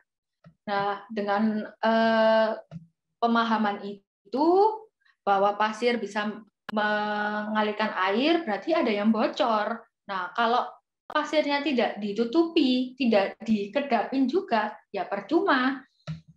Tidak efektif pompa kita dan pompa kita tidak akan pernah mencapai 80 kPa seperti itu. Jadi kalau ada lapisan pasir, ya kita harus eh, memasukkan geomembran sampai pasir itu tertutupi. Kalau memang pasirnya masih di lapisan awal-awal ya. Tapi kalau lensa pasirnya sudah ada di tengah-tengah, geomembran udah tidak bisa menjangkau, itu pakai dinding kedap. Salah satunya ya slurry wall itu namanya. Nah, jadi seperti itu. Nah, sama instrumen geotekniknya ada vacuum gauge, settlement plate, extensometer, piezometer, inclinometer, dan observation well. Untuk vakum perlu adanya vacuum gauge untuk mengukur tekanan vakumnya. Ini khusus vakum gauge, khusus untuk vakum preloading seperti itu. Nah, langsung sama ya skenario-nya. Ini langsung pada referensi pekerjaannya. Nah, ini juga perlu disampaikan bahwa ternyata ada koreksi tekanan atmosfer. Tekanan atmosfer yang satu ATM tadi ternyata bukan 100 kPa, tapi ya 101,3 kPa. Dan besarnya tekanan atmosfer itu tergantung dari ketinggian lokasi. Memakai formula yang eh, seperti ini, misalnya contoh proyek di Bandung. Di Bandung ketinggian lokasinya plus 660 meter. Nah, jadi dimasukkan pada formula ini, ternyata tekanan atmosfer di Bandung itu nggak sampai 100 kPa, hanya 92,5 kPa. Nah, apabila efektivitas pompa vakum yang diharapkan itu 80%, maka 80% dari 92,5 kPa hanya sebesar 74 kPa atau paling banter 75 kPa. Jadi kita melakukan vakum preloading di Bandung ya tidak akan pernah sampai 80 kPa seperti yang teori-teori tadi. Jadi eh, harus dikoreksi terhadap tekanan atmosfernya. Berarti di Bandung itu maksimal paling bagus, paling efektif eh, vakumnya berada di tekanan 75 kPa seperti itu. Nah, sama ini untuk perbandingannya Nah, langsung uh, skenario, misal existing ground-nya 1,7, lalu lantai kerja PVD seberat 1 meter, install PVD, install PVD, lalu ditutup dengan geomembran. Nah, karena ada load ratio, bisa jadi vakum preloading itu membutuhkan juga uh, timbunan tambahan. Nah, di dalam hal ini sebesar 5,9 ya, hampir 6 meter, cukup tinggi. Lalu dinyalakanlah pompa vakumnya. Terus ditunggu. Jadi estimasi penurunannya sebesar 1,6.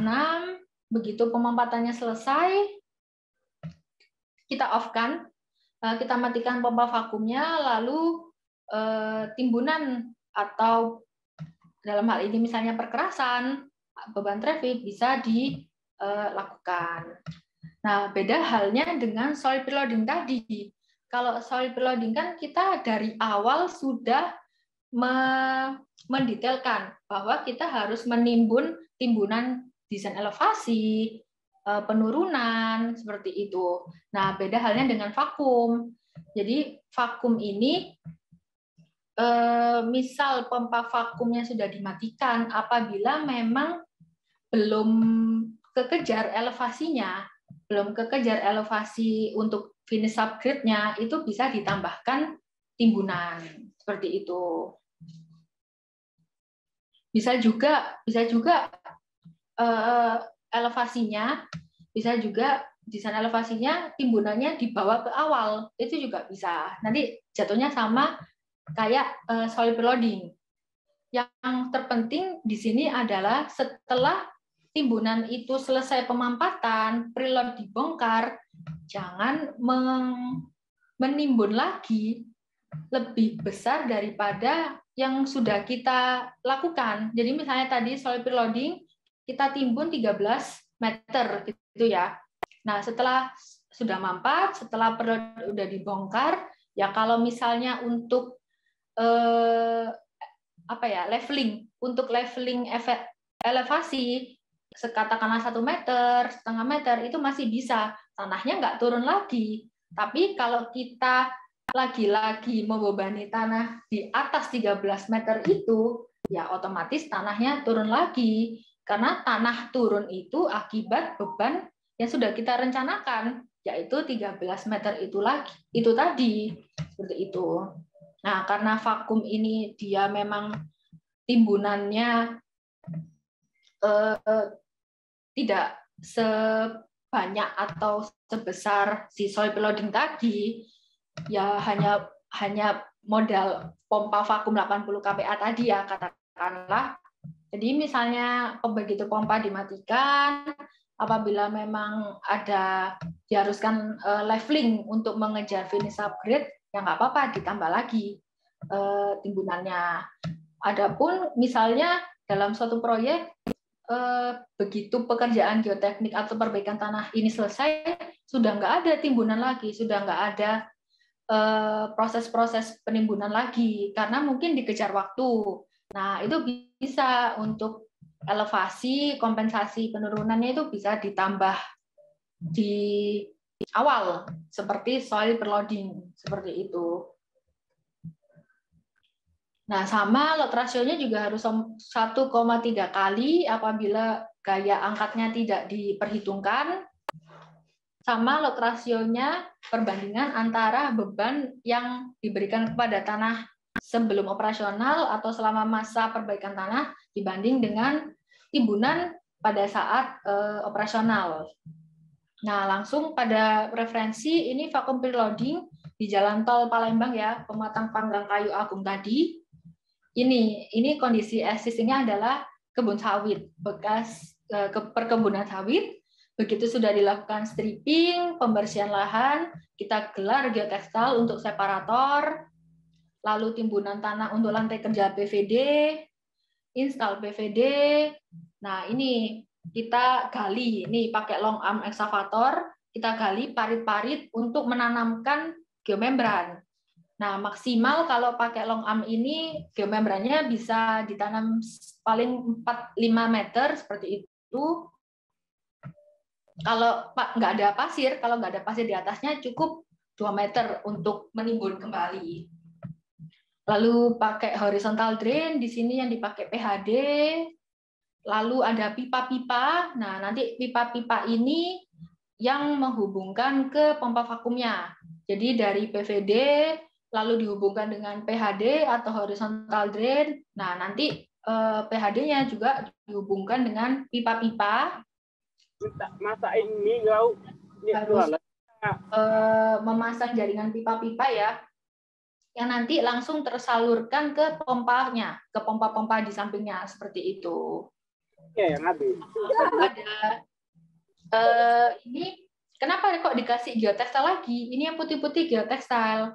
Nah, jadi eh, nyawa vakum itu lagi-lagi adalah di kedap. Begitu ada yang bocor sedikit sudah tidak efektif kan pompa eh, vakum preloading kita. Jadi di sini kenapa dikasih geotekstil untuk eh, ini protection, protection terhadap geomembran, terhadap lapisan kedap. Jadi di sini kan tanahnya tadi sirtu bisa pasir-pasir tajam-tajam gitu. Nah, takutnya kalau geomembrannya langsung digelar, takutnya menusuk geomembran, mencoblos geomembran. Kalau bolong, kalau sobek, ya sudah ada yang bocor, sehingga vakum preloadingnya juga tidak menjadi efektif. Oleh karena itu, perlu adanya geotekstil ini untuk protection. Jadi, geomembran ini tidak langsung menyentuh ke timbunan tanahnya, sehingga eh, dapat dipastikan tidak terdapat kebocoran seperti itu. Nah, lanjut selama masa-masa uh, perbaikan tanah itu kita juga harus monitoring. Ini kita monitoring setiap harinya. Nah, dan pompa vakum ini 24 jam nonstop tidak boleh di berhenti tidak boleh dimatikan. Karena ingat tadi seperti skenario kita mematikan pompa vakum berarti sama dengan kita mengunloading atau membongkar tinggi timbunan setinggi 5 meter. Nah, ini siang malam 24 jam nonstop pompa vakum dinyalakan sampai pemampatannya selesai, sampai konsolidasinya mencapai 90%. Nah, lalu dalam eh, proyek ini ini juga eh, kebentur waktu ya. Jadi harus perbaikan tanah ini harus selesai dalam berapa bulan. Nah, untuk itu biar mencapai pemam biar mencapai pemampatan yang diinginkan untuk mempercepat pemampatan dikombinasi dengan soil loading dengan timbunan tanah seperti ini. Itu bisa. Jadi lagi-lagi eh, sebelum timbunan digelar geotekstil untuk protection uh, geomembran yang di sini. Nah, di sini juga kelihatan ya geomembrannya sudah mulai berkerut-kerut. Berarti itu sudah mengalami hisapan. Jadi pompanya udah bekerja untuk menghisap eh, air-air, udara-udara di dalamnya sehingga geomembrannya juga mulai berkerut itu. Nah, ini geotextile, lalu di atasnya langsung ditimbun dengan soil preloading. Jadi ada dua di sini preloadingnya, kombinasi antara vakum dan soil seperti itu. Lagi tiap hari dilakukan monitoring Nah, setelah selesai bisa dilakukan leveling untuk uh, desain subgrade yang direncanakan seperti itu. Lalu penghamparan agregat, aspal, kalau misalnya pakai perkerasan perkerasan lentur. Nah, dan selesai baru uh, beban traffic, pavement tadi itu bisa dioperasionalkan. Nah, lalu ini PVD prefabricated vertical drain. Jadi ini juga salah satu material geosintetik. Jadi seperti ini bentuknya seperti sedotan yang memang untuk mengalirkan air pori. Nah, BVD ini merupakan ada dua material ya. Jadi yang pertama inti. Inti itu yang sedotan-sedotan itu tadi dan ada filter. Kenapa kok ada filter? Filter ini sebagai uh, filter ini ter, apa ya geotekstil ya bahannya sama kayak geotekstil tadi agar air aja yang masuk bukan butiran tanahnya karena kan kita mau mengalirkan air mau mengalirkan air dan jangan sampai butiran tanahnya ikut nah untuk itu difilter difiltrasi sama uh, jaket PVD ini jadi benar-benar air yang masuk ke core-nya menuju luar timbunan seperti itu. Nah, ini filter untuk penyaring, inti untuk media pengaliran eh, air secara vertikal. Nah, ini PVD di sini dalam kasus ini ini di proyek Belawan eh, Medan juga ya, Belawan. Ini contohnya pakai esavator, esavator yang memang sudah dimodifikasi. Nah, rekor pemasangan PVD terdalam kami itu sedalam 45 meter. Ya di Belawan tadi, yang berarti tanah lunaknya itu juga 45 meter, seperti itu. Ini rekor pemasangan PVD dengan alat terbanyak kami, eh, sebanyak 12 alat. Ini berada di proyek smelter Freeport di Gresik, itu karena memang areanya luas dan dikejar waktu harus selesai berapa bulan. Nah untuk itu kita mengarah, mengerahkan uh, alat yang banyak juga. Nah PVD itu gunanya untuk apa? Dari uh, fungsinya eh dari grafik di sini itu kelihatan kalau tanpa PVD Eh, pemampatannya itu dengan pemampatan yang sama ya, dengan pemampatan yang sama garis merah ini kalau tanpa PVD bisa sampai katakanlah 3 4000 lah, katakanlah 4000 hari. Sedangkan dengan PVD bisa dipercepat hanya eh, katakanlah 300 300 hari seperti itu. Jadi kelihatan eh, pada grafik ini PVD itu mempercepat waktu pemampatan Nah, eh, pemampatan mana yang dipercepat? Kita tadi kan juga udah belajar ini. Nah, yang dihilangkan, yang dipercepat itu adalah eh, pemampatan primernya. Karena air pori keluar dari dalam tanah lempung lunak itu sangat lama sekali kalau tidak ada bantuan dari PVD untuk mengalirkan air itu. Jadi lagi-lagi yang dihilangkan yang dipercepat hanya untuk pemampatan primer PVD itu. Nah, di sini eh, juga terbukti dari data-data tanah grafik ini bahwa pemampatan alami atau konsolidasi alami dari tanah lempung lunak itu bisa sampai eh, puluhan. Dalam ini contohnya yang agak cepat ya, yang puluhan. Bisa ada yang ratusan tahun. Ya tergantung dari parameter-parameter tanah lunaknya itu sendiri. Nah, jadi kalau mau bicara teori, eh, konsolidasi alami tanpa PVD itu air dengan beban tadi ya, dengan beban yang kita berikan ke tanah, eh, otomatis tanah terkompres, pori-pori itu terkompres, stres, akhirnya air pori mencari jalan keluar. sama ya kayak kita kalau stres, suntuk itu kita pasti keluar. Sama air pori ada dalamnya ada air, ada udara, dia tertekan, ya dia pengen keluar.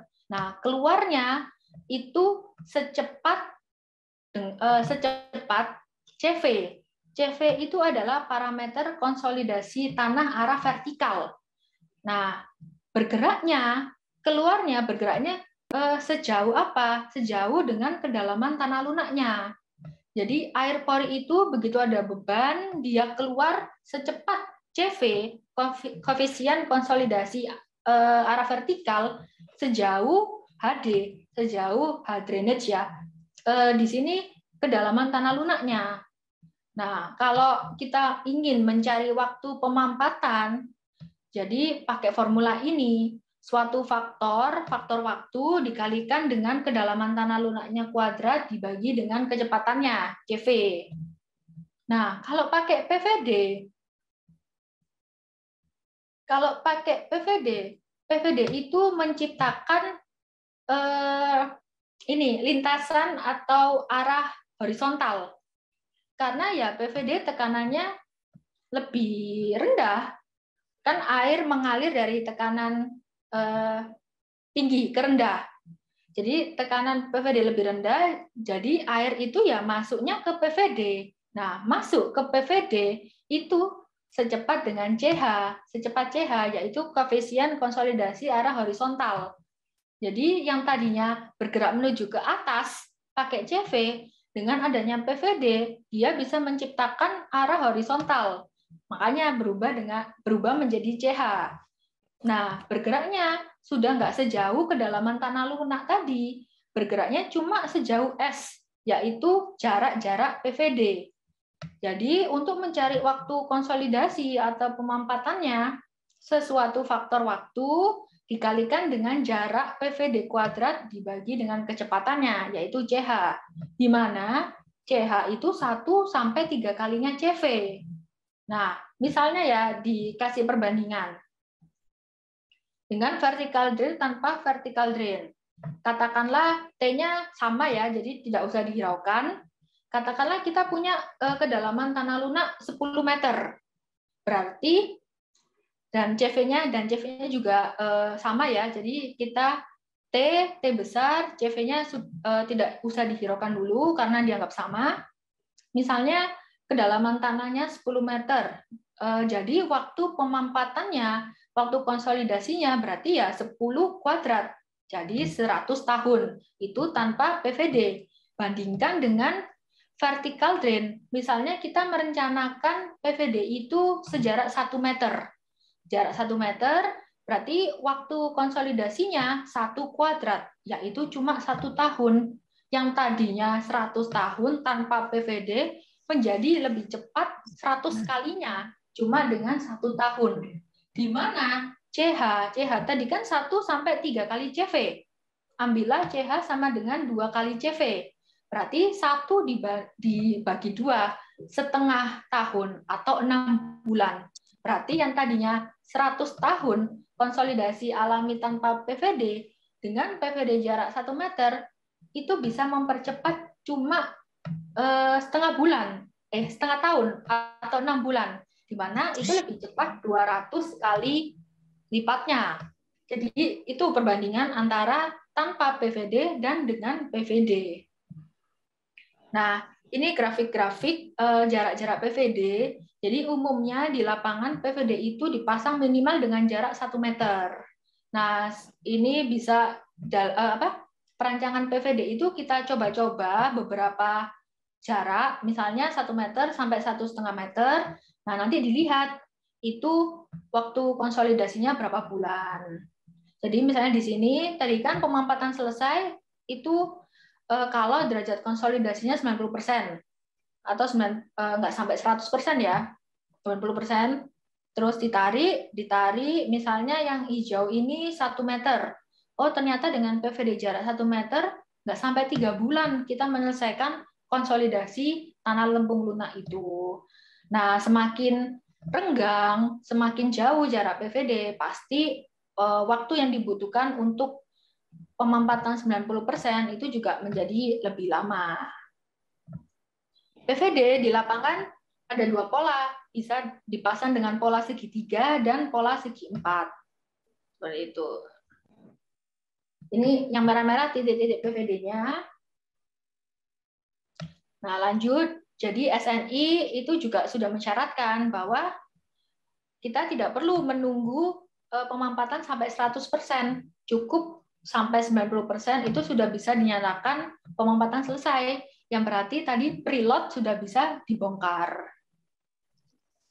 Nah, Bu, mohon izin Bu. Iya, Pak. Uh, saya ingin mengingatkan bahwasanya ya. sesi pertama akan berakhir lima menit lagi, Bu. Izin okay. mengingatkan. Bu.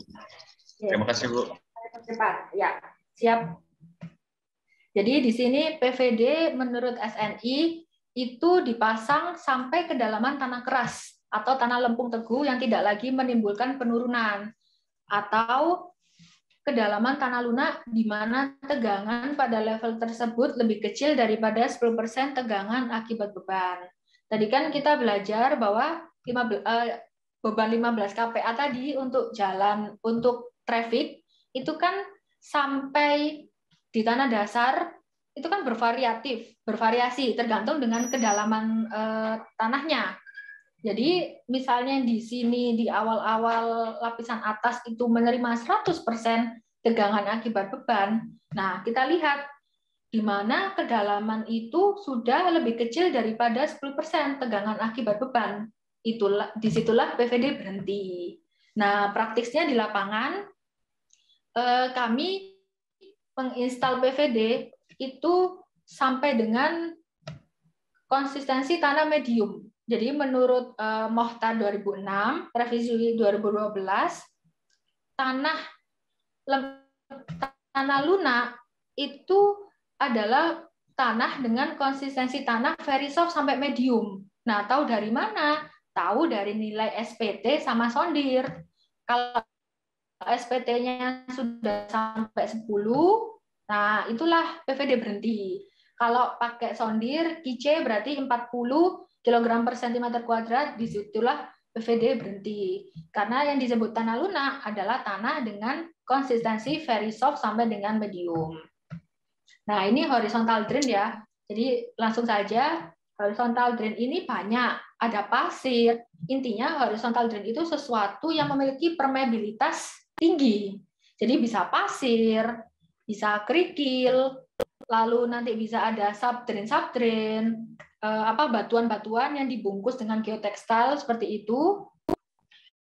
Nah, ada juga yang pabrikan prefabricated eh, horizontal drain. Jadi sama bentuknya seperti PVD, hanya saja intinya ini bukan sedotan. Ini seperti Eh, tempat telur gitu ya, cetakan-cetakan telur yang memang dia berfungsi untuk mengalirkan air secara horizontal dari PVD. Seperti itu. Nah, ini ini PHD itu dipasang pas di titik-titik PVD. Jadi, katakanlah kedalaman tanah lunaknya 10 meter. PVD dipasang ya 10 meter itu. Lalu di luar ada stack atau kelebihan PVD itu ya untuk melingkarkan PVD itu, menggabungkan PVD itu ke PHD. Jadi bisa dilihat ini ini adalah PVD-nya. Nah, yang horizontal itu baru PHD. Seperti itu. Nah, lanjut penutup Kembali lagi bahwa karakteristik tanah lunak itu daya dukungnya relatif rendah dan pemampatannya relatif besar dan berlangsung lama. Sehingga apabila tanpa dilakukan perbaikan terlebih dahulu, konstruksi jalan raya yang dibangun di atasnya menjadi terbatas. Stabilitas timbunan tanahnya rendah dan akan mengalami penurunan yang relatif besar serta lama yang akan berpotensi mengalami kerusakan. Nah, salah satu alternatifnya untuk menangani permasalahan tanah lunak dengan menggunakan metode preloading.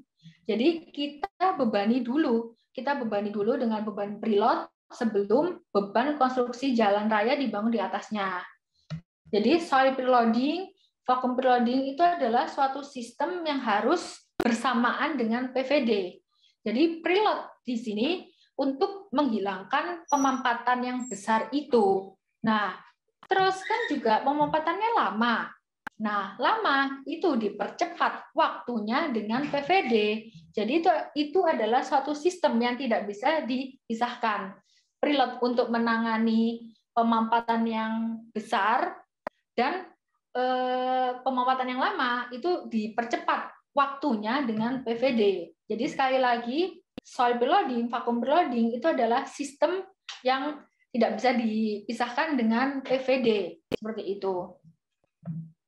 Nah, untuk eh, tadi geosintetik salah satunya geotekstil itu dapat digunakan untuk meningkatkan daya dukung tanah dasar dan meningkatkan stabilitas timbunan tanah. Untuk mempercepat memampatannya digunakan eh, PVD seperti itu. Nah, baik eh, akhirnya selesai. Jadi sekian dan terima kasih atas perhatian perhatiannya pada materi satu ini mengenai perancangan geoteknik pada eh, konstruksi jalan raya ya konstruksi jalan raya yang dibangun di atas eh, tanah lunak. Seperti itu, mohon maaf, memang materinya banyak, agak padat dan kata tidak cukup. Eh, 90 menitan ini langsung saya kembalikan ke Pak Hamas. Terima kasih. Terima kasih sekali lagi uh, untuk narasumber kita, Ibu Azmi Lisani Wahyu. Uh, Alhamdulillah luar biasa untuk materi yang Ibu berikan. Sekali lagi terima kasih. Kami sangat-sangat uh, ya itulah berterima kasih sangat-sangat ya merasa teristimewa karena Ibu mau meluangkan waktunya dan juga materi yang Ibu berikan itu sangat berguna untuk kami. Nah, jadi setelah dari sesi pertama ini, saya akan melanjutkan acara di sesi kedua yaitu sesi tanya jawab yang akan dilakukan dari mahasiswa dan uh, narasumber kita. Kepada mahasiswa, saya berikan kesempatan untuk bertanya kepada narasumber kita. Jadi jika ada kalian yang ingin bertanya, silakan raise atau langsung saja uh, aktifkan cam sama mikrofonnya dan akan saya persilahkan untuk bertanya.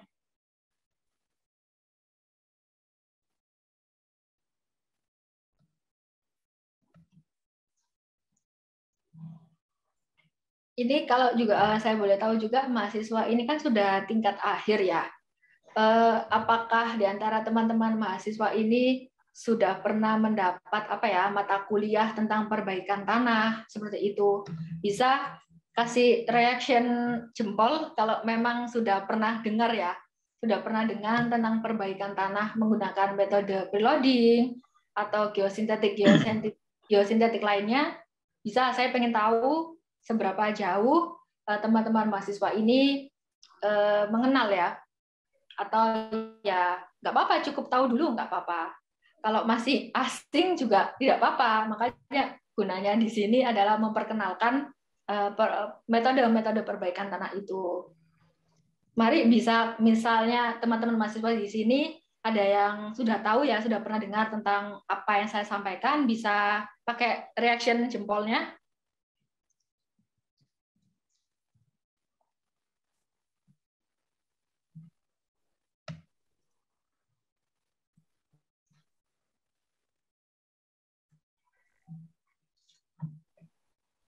Belum, untuk mahasiswa, ya.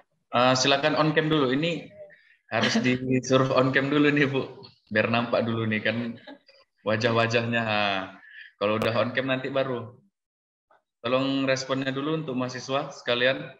Silahkan on camnya masing-masing biar Ibu juga bisa lihat kan. Nah, inilah dia mahasiswa mahasiswa kita.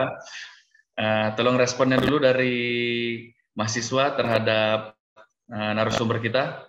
Untuk kalian, apakah sekali lagi saya ingatkan, eh saya sampaikan, narasumber kita tadi bertanya, apakah kalian itu pernah mendapatkan materi perbaikan tanah?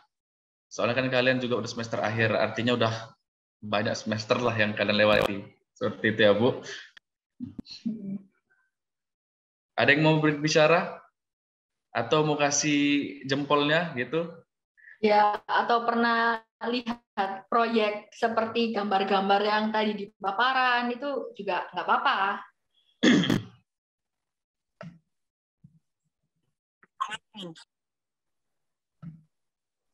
Atau ada yang mau ngomong bisa langsung raise hand aja dulu.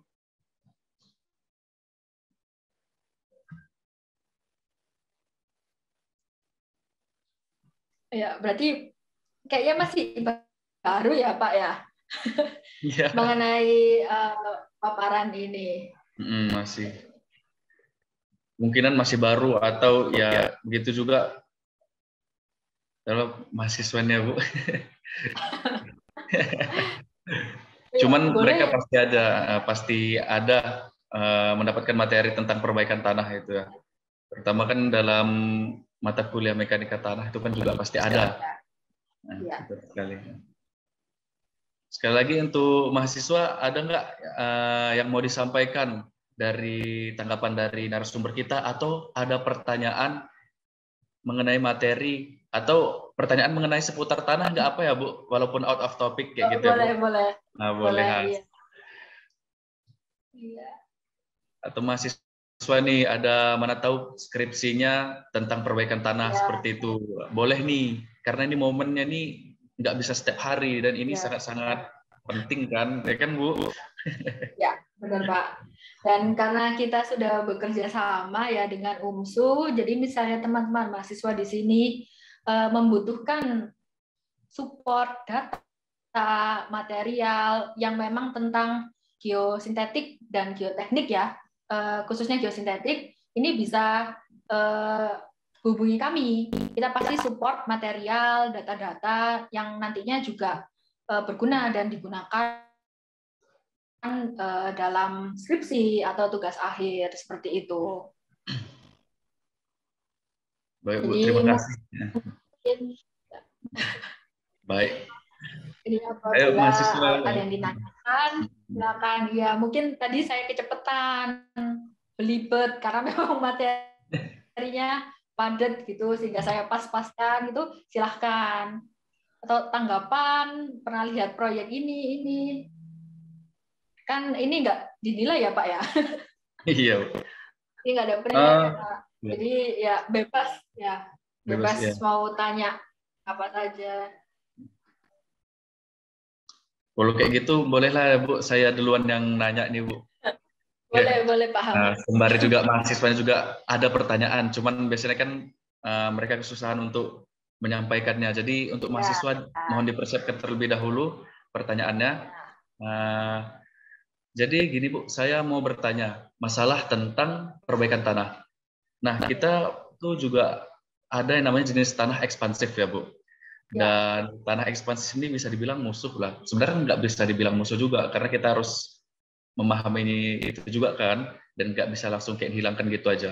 Nah kita tahu kan kalau ekspan, tanah ekspansif ini kan sifatnya kayak dia tuh tergantung sama air di lingkungannya. Kalau misalnya airnya keluar dia terjadi shrinking dan kalau misalnya ada air yang masuk dia bakalan swelling dan gitu, kayak nggak bisa kalau menurut saya itu kayak susah lah untuk Iya, betul. ditanggulangi kayak gitu kan Bu. Nah, Iya. jadi dalam metode yang tadi kayak Ibu sudah sampaikan, apa bagaimana metode yang tepat lah Bu istilahnya itu untuk mengatasi si mata, masalah eh, tanah ekspansif ini? Karena kan nggak selamanya misalnya tanah ekspansif langsung dibuang begitu saja Bu. Apalagi kalau misalnya itu volumenya terlalu besar dan memakan waktu. Nah, untuk eh, dari Ibu, apakah ada kayak metode eh, penanggulangannya atau metode perbaikannya dari si tanah ekspansif ini, Bu? Terima kasih.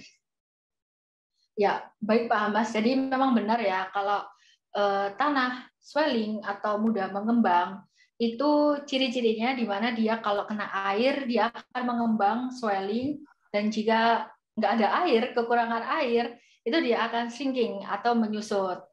Nah, pertama-tama eh, memang ada tes lab sendiri ya Pak, tes lab sendiri untuk eh, potensial swellingnya itu bagaimana itu dilihat dari aktivitasnya ya kalau di tanah lempung. Itu eh, saya juga tidak seberapa mendalam untuk bagaimana cara pengetesan swellingnya. Hanya saja dari data lab, dari data tanah itu bisa dilihat indikasi swelling suatu tanah itu bagaimana. Itu dilihat dari parameter eh, aktivitasnya. seperti itu. Nah, jika memang tanah itu berin, uh, dikatakan dapat swelling ya, uh, disebut uh, swelling uh, soil, uh, umumnya yang utama kita harus menjaga kadar air, kadar air tanah itu. Itu yang paling utama. Tidak ada cara lain ya, Pak. Jadi kita harus uh, mengatur benar-benar uh, melindungi si air itu kalau tidak ada air ya udah jangan ada air yang boleh masuk. Jadi eh, benar-benar mengontrol kadar air. Nah, salah satunya pakai lapisan kedap yang tadi sempat saya bilang ada geosintetik yang namanya geomembran, Pak. Ada geosintetik yang namanya geomembran yang memang untuk lapisan kedap. Jadi bisa lapisan eh, tanah yang swelling itu digelar geomembran agar air masuk, air keluar itu tidak bisa karena geomembran ini sangat kedap. Bahkan di uh, spek produknya ya, di tes-tes uh, lab untuk materialnya, geomembran ini jauh-jauh lebih kedap daripada tanah lempung. Kita tahu bahwa tanah lempung itu kenapa sih dikatakan kedap? Karena permeabilitasnya sangat rendah. Makanya tadi kita lihat eh, paparan air pori keluar aja itu lama karena ya itu sifat permeabilitasnya itu ya sangat rendah beda dengan pasir. Nah bisa dibayangkan eh, tanah lempung lunak itu sekedap kedapnya seperti apa dibandingkan dengan geomembran yang memang jauh-jauh lebih eh, kedap ya.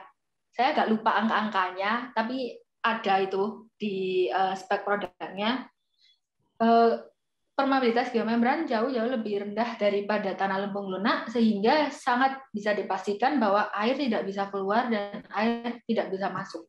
Itu Pak masalah satu untuk penanganan tanah swelling. Jadi kita harus mengontrol kadar airnya dengan menggelar atau menggunakan lapisan kedap yaitu geomembran.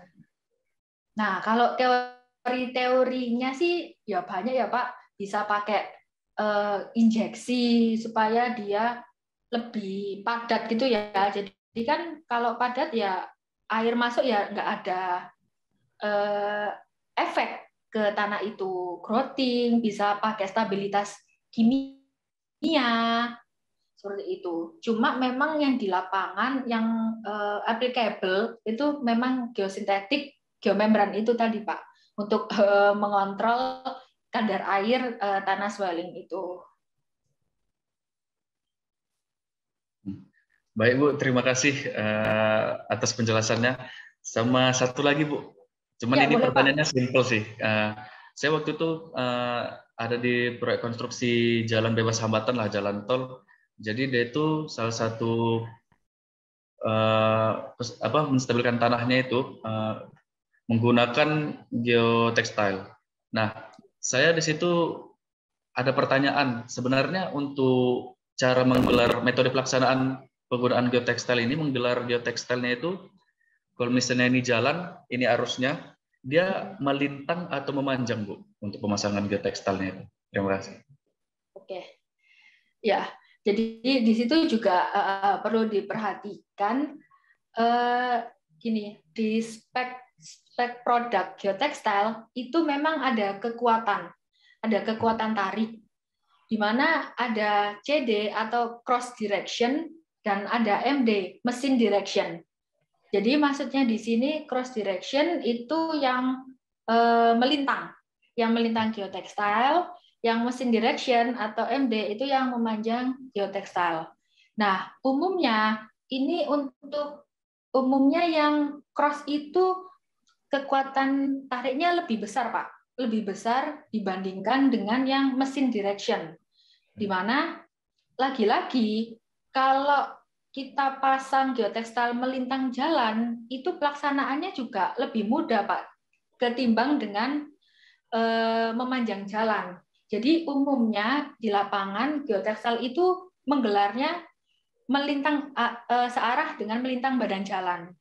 itu dari kekuatan lebih tinggi untuk menghadapi kelongsoran itu ya, jadi menahannya lebih tinggi.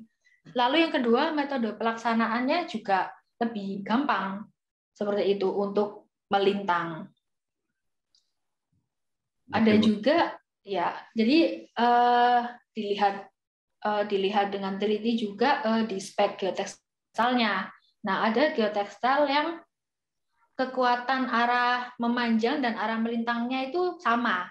Jadi tidak masalah mau digelar ke arah mana pun yang dilihat hanya metode pelaksanaannya seperti itu. Karena di umumnya penggelaran di apa maksudnya di lapangan lebih mudah pada area melintang badan jalan. Seperti itu, Pak. Baik Bu, terima kasih sekali lagi atas penjelasannya. Dan untuk mahasiswa, jika sudah ada pertanyaannya, silahkan untuk langsung saja open mic sama open cam-nya dan langsung bisa disampaikan pertanyaannya.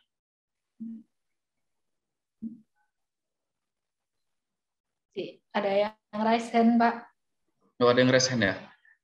Untuk NPM 079, silakan untuk open cam sama open mic-nya. Langsung saja. Assalamualaikum warahmatullahi wabarakatuh. Waalaikumsalam warahmatullahi wabarakatuh. Uh, boleh tahu namanya siapa? Anggi Wiguna, Bang. Anggi Wiguna Sembolon. Namanya Anggi Wiguna Sembolon. Bu, jadi saya cuma ingin bertanya, Bu. Kan ya. Kalau saya sering lewat di daerah pegunungan itu ya. kalau misalnya proyek kan dia pasti gali tanah baru nanti ditimbun ya kan bu? Jadi saya mau nanya bu itu timbunannya itu material memang dari pegunungan atau material dari pantai atau dari semekali gimana ya bu? Ya. Aja, bu. Kembali bu. Oke. Jadi memang untuk uh, me, apa ya men, uh, kan tadi kita juga butuh timbunan ya jadi sebenarnya uh, geosistem kami itu hanya pelaksana di PVD, lalu instrumen geoteknik, terus PHD dan sampai mereview ya, mereview evaluasi kapan sih uh, pekerjaan perbaikan tanah ini selesai. Nah, untuk tinggi timbunannya itu biasanya dari kontraktor utama. Jadi kami mengikut dari kontraktor utama. Nah, umumnya umumnya memang eh, kuari-kuari itu apa timbunan-timbunan itu diambil bisa dari pegunungan. Kalau memang me, menyiap, kalau memang memungkinkan. Nah, kalau tidak memungkinkan dari pegunungan, contohnya proyek reklamasi. Nah, itu proyek reklamasi timbunannya itu bisa menyedot dari laut seperti itu. Jadi sedot dari laut diletakkan lagi di permukaan itu juga bisa. Jadi memang timbunan bisa diambil dari uh, kuari ya, tanah kuari itu bisa diambil dari darat dan uh, kuari laut seperti itu.